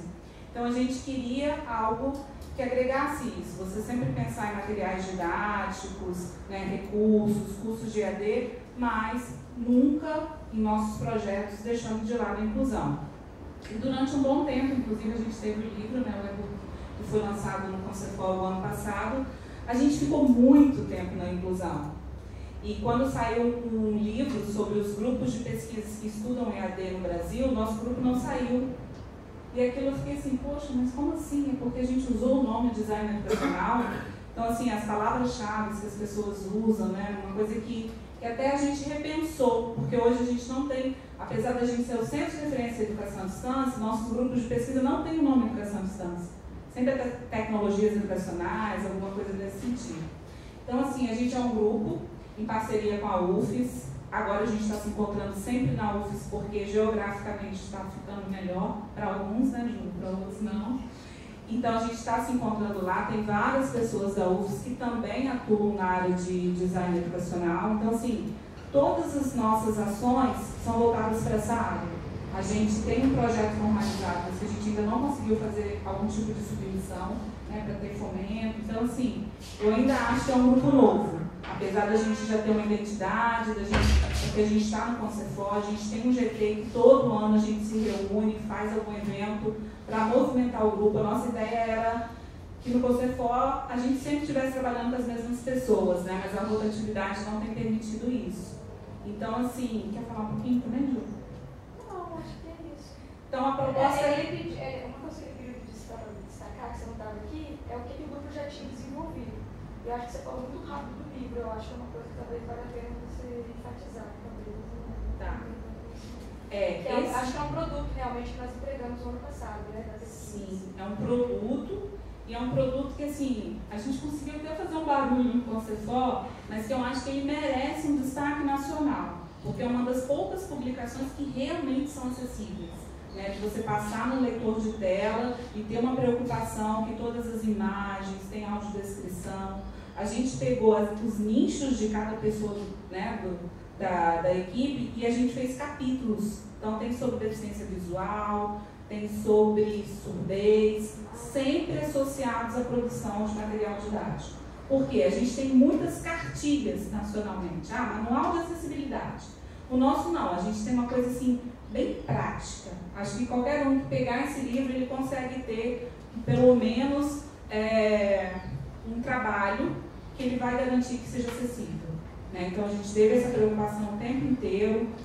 A Juliana e a Giovana que ficaram muito nessa coisa, a gente trouxe deficientes visuais para o grupo, eles vinham falar para a gente, tá? Foi muitas aulas que a gente teve, né, trazer esses deficientes visuais para discutir com, com o grupo de pesquisa, foi muito importante. E às vezes a gente pensa assim, como fazer esse movimento no IFES? Porque hoje todo mundo está falando de como começar essa inclusão de pessoas com deficiência e a gente tem um material da casa por uma experiência que a gente né, sentiu na pele quando a gente fez o primeiro curso acessível e às vezes a gente não tem isso tão, tão difundido. Né? Fica aí o convite para todo mundo conhecer nossa grupo. Legal, muito, obrigado, parabéns pelo grupo, Daniel. É, bacana. A única, eu também quero pedir uma ajuda para você, Maria, e para todos os livros, você comunique isso a todos os livros, toda alteração que for feita nessa página do grupo de pesquisa, tal como o, o, o, os líderes, mudou o líder, mudou a área, mudou o, campus onde ele está, que isso seja comunicado para a gente em tempo hábil, ou mais rápido possível, para a gente fazer a mudança no sistema SIGPES. Não é sincronizado, tá? a gente tem que fazer manualmente. Então, às vezes fica aí, falta, já fui cobrado, às vezes que está diferente, mas a gente precisa saber. Tá bom? Então, bem, o último grupo aqui é esse outro que também está em preenchimento. É o grupo de estudo, pesquisa, história e filosofia da ciência, da Lígia. Esse aqui, ele, olha, se ele provavelmente. Eu e Donizete. Isso. Você. Isso. Na verdade, aqui no Donizete ele não está como líder, então. Ele deve estar só como membro da equipe. Então, são dois líderes Bom, na sua página, você é, é líder. Então, você é Lígia, mas aqui aparecia os dois. Porque se você, lá se tivesse cadastrado os dois, aparecia assim, ó. Tá vendo? Então foi alguma coisa. Às vezes, às vezes ele tem. Faz muito tempo que você não atualiza ele? Não, é, foi há pouco tempo. Né? Foi? E também, está faltando enviar o CNPq e eu vou te pedir uma outra coisa. Ó, a unidade é igual você pertence, no caso. Igual botou aqui, ó. De você for, tá vendo? Também tem que colocar. Porque senão ele cai num grupão de grupos de pesquisa do Rio e não define que campus ele é. Entendeu? Que unidade. Então entra lá, enche isso aqui, envia o CNPq, adiciona o, o Donizete também e explica um pouquinho é o seu grupo para nós. Bom, esse grupo na verdade começou com o professor Donizete, lá no Unidos, né? porque também ele ligava ao Sou, não, de vez em quando. Eu sou colaboradora do programa. É, não sou credenciada, não me credenciada.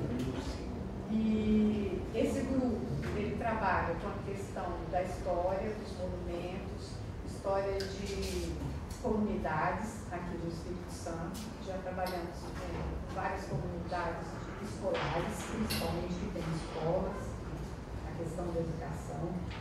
E da minha parte eu trabalho com História e Filosofia da Ciência, História e Filosofia da Matemática. É, acabamos de lançar um livro ano passado, agora que vai servir também para os alunos da pós. São vários alunos nossos da pós-graduação que escreveram esse livro junto.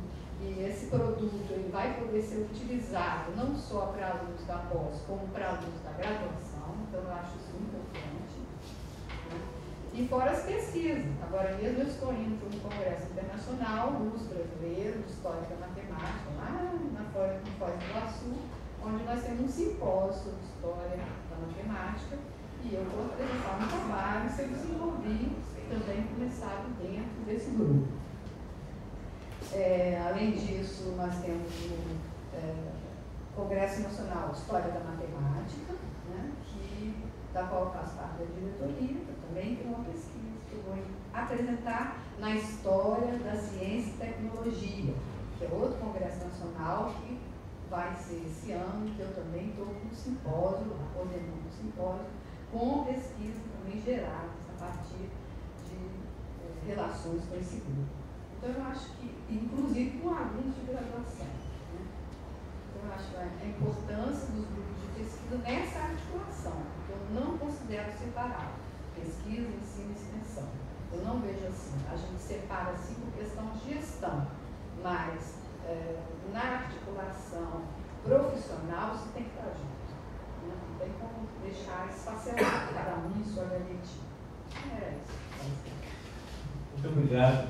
Bom, a Maria Alice, ela também tem um grupo, ela está me informando, só que não apareceu lá para mim no SIGPESC, provavelmente porque deve estar aí no Campo Vitória, né? É porque esse grupo nasceu em mas como eu sou a líder, eu não sei por que, que ele não veio para o CEFOR. Ah, então pode ter acontecido. Você fez a alteração lá no sistema do CNPq, da unidade que você pertence? Sim, mas nem tudo você consegue alterar. Não, não, eu sei, mas a unidade você consegue. Aí você talvez não tenha, é, sido, tenha sido atualizado lá, não sei quer. Eu vou fazer isso para você. Mas então fala qual que é o seu grupo, explica um pouquinho sobre ele. Eu falo. O meu grupo é o GTM, Ah, que bom. que trabalha com. Olha o Carlos aí. Que trabalha com é, modelagem matemática, educação estatística, resolução de problemas, tanto na formação de professores quanto na aprendizagem.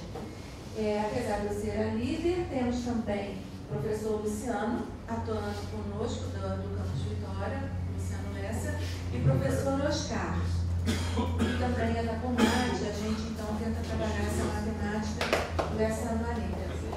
Tem uma dificuldade, é, eu vou pegar o gancho com você. Tem dois é, pesquisadores internacionais do no, no nosso grupo, eu não consigo cadastrá-los. Não consigo. No CNPq você não consegue? Não consigo. É, não no CNPq. Então, Aí seria tem, será que você tem que ter o vínculo no CNPq depois você? Tem que ter um currículo No Lattes, Lattes, no você- CNPq. Pois é, mas como é que eu vou obrigar eh, pesquisadores pode- internacionais a, a terem o- Porque a lá tem lugar para pesquisador. isso? Alice, lá tem lugar para pesquisador estrangeiro. Eles têm que ser Não, eu sei, mas eu. eu Você pode fazer. Você pode. Se eles autorizarem, É, eles dão aquele número, tem um só se número de for isso, documento. porque eu já acho muito ter que sei você a você trabalhar com a BNT, entendeu? É. Porque todo mundo trabalha com a água. Mas, enfim, é isso. Pode fazer uma pergunta? Por favor. Nós falamos muito mal, muito É, mal de Você você. não, vai fazer pergunta difícil. Hiper engraçado é porque eu estava atendendo coisa de tem aluno, que é o seguinte, Obrigado. o meu projeto de pesquisa tá- vai vencer agora. Aí eu queria saber se eu posso pedir a. É do. É Deep Pop o grupo. A gente já passou pelo seu. Passou então, então. Primeiro. Ah, o primeiro? É. É. Então, vai vencer agora. Eu não sei se eu tenho que entregar relatório e reabrir, ou se eu posso entregar um relatório e pedir para. Pera lá, deixa eu entender qual que é o.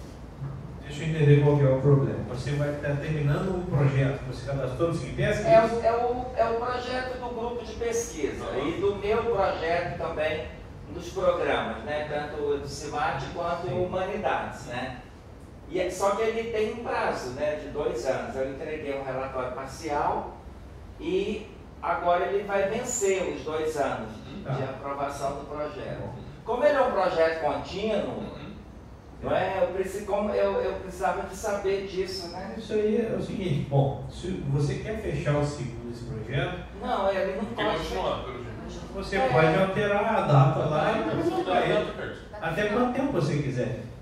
Entendeu? Mas eu Até tenho que entregar o relatório Sim, parcial, então. Na verdade, não é necessário esse relatório, ele não, ele não implica em prejuízo para ninguém. Nem- Entendeu? Você tem bolsista? Desculpa, sabe? Não. Você, você, não, Esse é só um relatório de acompanhamento a nível de direção de do pesquisa do extensão. da unidade, entendeu? Esse- esse- Ele não, Você pode alterar. não atrapalha nada, você pode alterar inclusive o E projeto. você pode anexar, você altera, você altera o plano de trabalho também. Cronograma. Porque sai um pesquisador, defende e entra outro. Saíram três, entraram três, entendeu? É, essa, essa dinâmica Eles aí vão é- defendendo e vão saindo do. Você altera a data, mas pode ser quando você altera a data, você vai ter que mudar o cronograma. Claro, é, tem que Então, se fazer você alteração. muda a data, você mudou. E eu posso fazer isso no próprio sistema? É, do Sim. Sim, você está falando do Sim, Sigtest. isso. Pode, claro. Ô Carlos, então aí você não estava aqui na, na apresentação dos grupos de pesquisa, passamos por você, você quer contar um pouco da história do seu grupo? Então, eu é, rapidamente, né, esse grupo ele nasceu em 2010, junto com o próprio programa, né? Acho que eu, Alice, Dora, Vilma, fomos os primeiros a comprar a ideia do Educimate, né? O Sidney falou com a gente, cara, você quer entrar no, no mestrado em ciências? Aí, claro, vem, sim, aí falou, ó, você começa dando essa disciplina, aí depois eu demorei um pouco a me localizar, né? Quando o programa começou, a gente ainda estava, né, Alice, aprendendo as coisas ainda. E aí ele dividiu algumas áreas de, de, de estudo, falou, ó, você vai ficar com é, divulgação da ciência. E a Manuela vai ficar com espaço não formal. Aí eu queria ficar com espaço não formal. Aí falou, não, você pega a divulgação e dentro da divulgação você trabalha com o espaço não formal. E aí hoje nós temos mais de 20 artigos publicados nesses, nesses anos, em periódicos A1, A2, B1, mais de 15 orientandos já defenderam dentro da área de divulgação e dentro da área de espaços não formais. Se quiser, vai ser, vai ser parte do doutorado. Ah, com certeza, né? Vamos começar, né, É muito Bem, difícil. parabéns, Desculpa, eu não falei nada disso, mas é, mu- eu conversei com o avaliador da CAPES. Quando eu fui o ano, no final do ano passado, eu conversei com o avaliador da CAPES. Segundo ele, conversando, foi muito difícil não ser aprovado. Muito. Não sei se vocês viram a nossa produção, daria para ser para 5, né? É muito difícil. Só se é político, se não for político? Conseguiu mais pontuação. Ano passado a reprovação foi política. Foi for Não foi por competência técnica do, do corpo docente do, do programa. Parabéns, parabéns Mas se acontecer isso de novo, aí é, eu venho aqui, né, faço uma conversa particular com o Simate, e aí, de repente, eu vou a Brasília junto com o e a gente vai tentar meter os pauzinhos. Ah, mas eu também não acredito muito não. Tem quantas propostas? Mas acho que não vai acontecer isso. Eu acho que vai ser. Vão ser o primeiro doutorado aí, mas não o único. Mas Vamos não. abrir, inclusive, mais para frente. Bom, da minha parte, eu estou satisfeito sei se. Eu, eu, Você faz- eu tenho uma agenda 4 meia. Eu tenho uma agenda Faz 4 e o encerramento aí, vai ali. Eu não sei se vocês. Não, pode Eu queria agradecer é, a presença de vocês, aqueles que estiveram antes. Eu queria sugerir para vocês virem aqui no dia da aula inaugural do Educimate. Eu ia, eu ia falar isso no finalzinho. Ah, desculpa, Alice. Mas tá ótimo. Deu spoiler. Mas eu queria agradecer aos colegas que estão assistindo também online a gente. Você transmitiu não? Não, tá não. Não. Mas que vai assistir a gente gravado no YouTube. É, e dizer, sabe, desse compromisso que a gente tem, e eu repito novamente, sabe, de, de ajudar os colegas a desenvolver sua pesquisa. Seja por meio de recursos que são escassos, a gente tem pelo menos soltado os editais. Já falei para os colegas aqui, Então, a gente sabe André. disso, a questão da, pro- do propósito que vai sair. Esse edital tinha que contemplar aluno estricto senso, né? É, A do PIBIC, você está falando? É, não dá para fazer iniciação científica no, no- no- na educação superior, né? no estricto senso. Mas podia ter um edital de pesquisa como o Campus Vitória teve há uns anos atrás aí. Você está falando recurso aqui, voltado. Então, isso não é uma proposta. Edital da BRPPG voltado para... Bolsas de alunos Isso, de distrito centro. Exatamente. Tá, isso daí é um, é um, assim, uma conversa que eu conversei com ele, porque o recurso da PRPG, eu falei aqui no início, ele gira em torno de 700 mil reais. E 700 mil reais, na faixa de 600 é bolsa PIBIC. E na faixa de 100 reais é PIBIC Júnior. Tem mais dinheiro? Tem. Aonde esse dinheiro está enterrado? Em formação de, de, de interninho. Então a gente tem um, um Tinter em engenharia, engenharia mecânica, tem Tinter, tem um mestrado agora de educação agrícola, tem demanda para mestrado na área de administração. Mestrados que dão título e não dão produtividade, não Mas- formam pesquisadores. Mas assim, a gente. desculpar com você, eu posso falar isso. Pois, gente, mas a gente aqui para falar. né? Tá? Serve para a pessoa ter o título e ela não. Esse, esse, esse é Mas não fugiu, viu, Carlos? Assim, a gente não fugiu do nosso horizonte essa questão da bolsa, você está entendendo? Pro mestrado. Realmente não fugiu. E a gente está num período que a gente não chegou ainda a discutir, mas a gente vai discutir essa questão de orçamento para 2019. É. Chegou, o orçamento estava. Podia ter. Tinha conversado, sabe? Alguma coisa assim. Mas o propósito, gente, você vê, a gente está com 140 mil para 170 entre 10 programas. A gente conseguiu uma bolsa de pós-doc. É uma, mas é uma bolsa. que A gente tem, né? é melhor uma do que nada. Para ser. Eu, é, sabe? Então, assim, dentro dessas vagas magras, o que eu pedi para o Jadir e ele manteve era o que a gente tinha antes. Porque existia uma pressão muito forte para diminuir. Ah, e é. por que diminuir? Porque, por exemplo, a existência realmente, a, a existência é muito menor. Eu sei que o, eh, português não está correto, mas é vocês estão entendendo o que eu estou falando. É, o valor da, da extensão em relação à pesquisa é, é pequeno. E o recurso também diminuiu. A gente tinha, na reitoria de ano passado para cá, vocês vão ver o, o daí tem uma, uma, uma transparência que mostra que a gente, em 2014, 2015, a gente tinha na faixa mais ou menos só de custeio uns 80 milhões. É, uns 70, 80 milhões só de custeio. É, hoje a gente tem 59 milhões. É muito dinheiro. É muito dinheiro quando a gente tem 22 de capital. Ou 21, 22 de capital. Entendeu? E de capital nem se fala. Se a gente juntar de capital, o IFES tinha mais de 120 milhões. E hoje de capital, sabe quanto que a gente tem de capital? Para 22 tempos? 2 milhões. O que é 2 milhões? Você não consegue com 2 milhões. Eu estou falando números na real. Você não não, não tem, Você vai dividir 2 milhões como? Com 22 campos.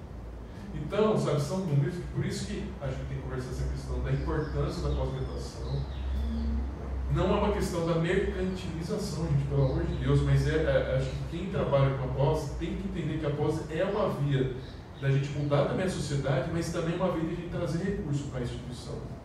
Mas não é para a instituição, IFES, reitoria, instituição que, por exemplo, você for, para o Edulcimate, sabe? Da, da, da fundação, da, né? Por, claro, por meio da fundação, fica mais fácil. Ah, e vai rápido. E é um dinheiro que pode ser. Quem faz isso lá fora faz por meio da fundação. É um dinheiro que pode ser embutido direto no programa, com pagando o professor para trabalhar, com uma porcentagem de custeio para o campus e sobrando ainda dinheiro. Eu conversei com o senhor, é em torno de 150 a 200 mil de sobra, já pagando o professor, para uma turma, por exemplo, de mestrado, que sobra para o programa. Sabe quando que a PRPG, ou a reitoria, ou aqui o setor vai destinar para um programa desse valor? Nunca, gente. E pode Nunca, cobrar porque, programa? Que claro que pode. Claro Pós-graduação. Entendendo? Então, é, a gente conversou aqui, tem curso na, na, na Rural que não tem nota 4 e tá, já está formando a, a, segunda turma do, do IFES, mas já formou várias no Brasil. Eu estou conversando com o cara entender, eu já entender como o cara faz isso. Claro que tem pressão. Ela só pressão, eu quero entender. A gente vai sofrer pressão também, mas eu quero entender o que o cara faz para ganhar dinheiro. Não é, o dinheiro não é para mim, gente. O dinheiro é para o programa. É sustentabilidade dos programas. É sustentabilidade e, e é entendimento dos gestores, diretores, para vocês entenderem, e coordenadores, como que a gente consegue sustentar os, os programas e a gente avançar mais para cima. E não para baixo, porque a gente já chega. Então eu queria agradecer, Marisa, deixar a PRTV eu, o Sábio, o Pedro, né, na pesquisa pós-graduação, à disposição de vocês. Já falei antes aqui disso, mas eu tem algum tipo de problema, seja lá problema de incentivo, problema. Eu só tenho a elogiar, porque todas as vezes que eu precisei.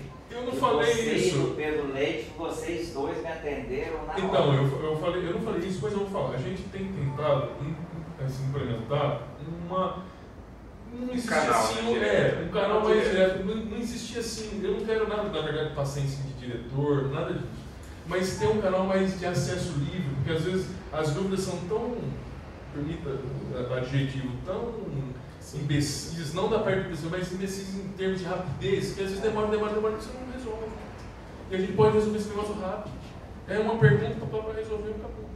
É como a, a Marcela querendo saber que a informação que não podia sair de tal por causa da eleição. Não, não pode. E é, é uma informação importante. Se fica demorando muito, você daqui a pouco vai achar que não pode ser de tal, aí você vai falar, não, não pode ser de tal, e a pessoa vai ficar desesperada e não é.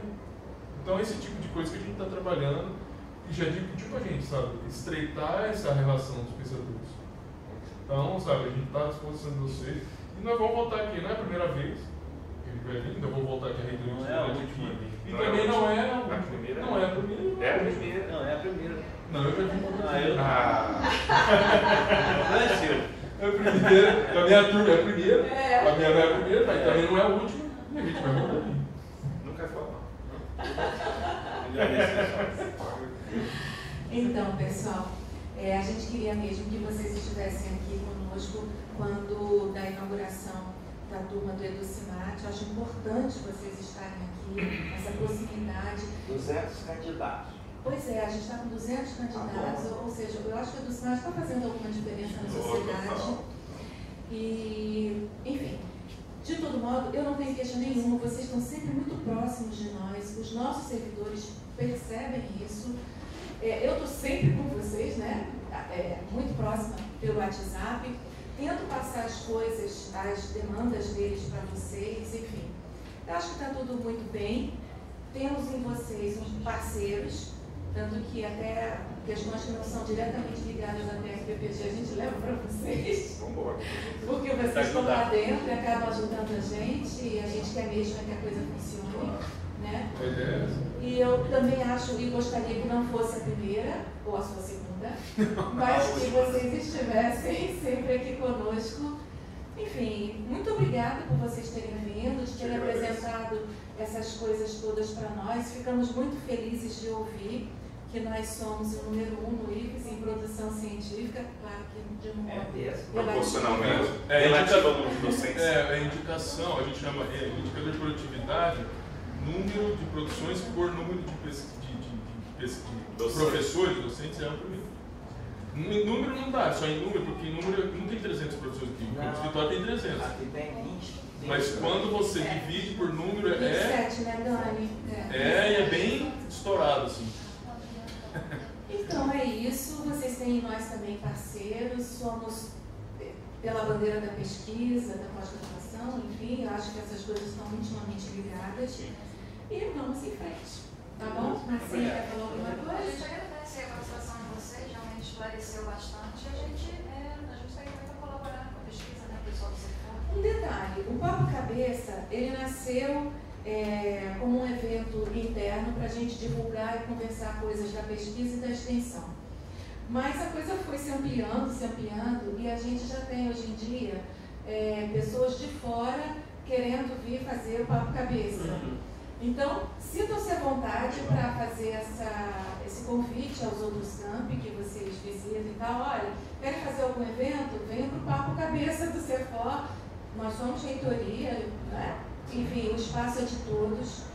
E é só se comunicar comigo, com Marcinha, e a gente abre as portas e organiza tudo. Como eleição eu não falei, mas, por exemplo, você tem meu telefone, o Carlos Eu também, tenho, né? vocês têm total liberdade passando o número para quem precisar falar com a gente, tá? o André. Quem precisar, não é. não tem senha. é A gente. Não existe. E lá na reitoria tem uma senha só. Você precisa falar assim, olha, ele tá me esperando. É essa a senha. Sério mesmo, se você falar assim, ele tá me esperando, ele não. Beleza? Não, tá ótimo. Muito bom, então. Muito obrigada.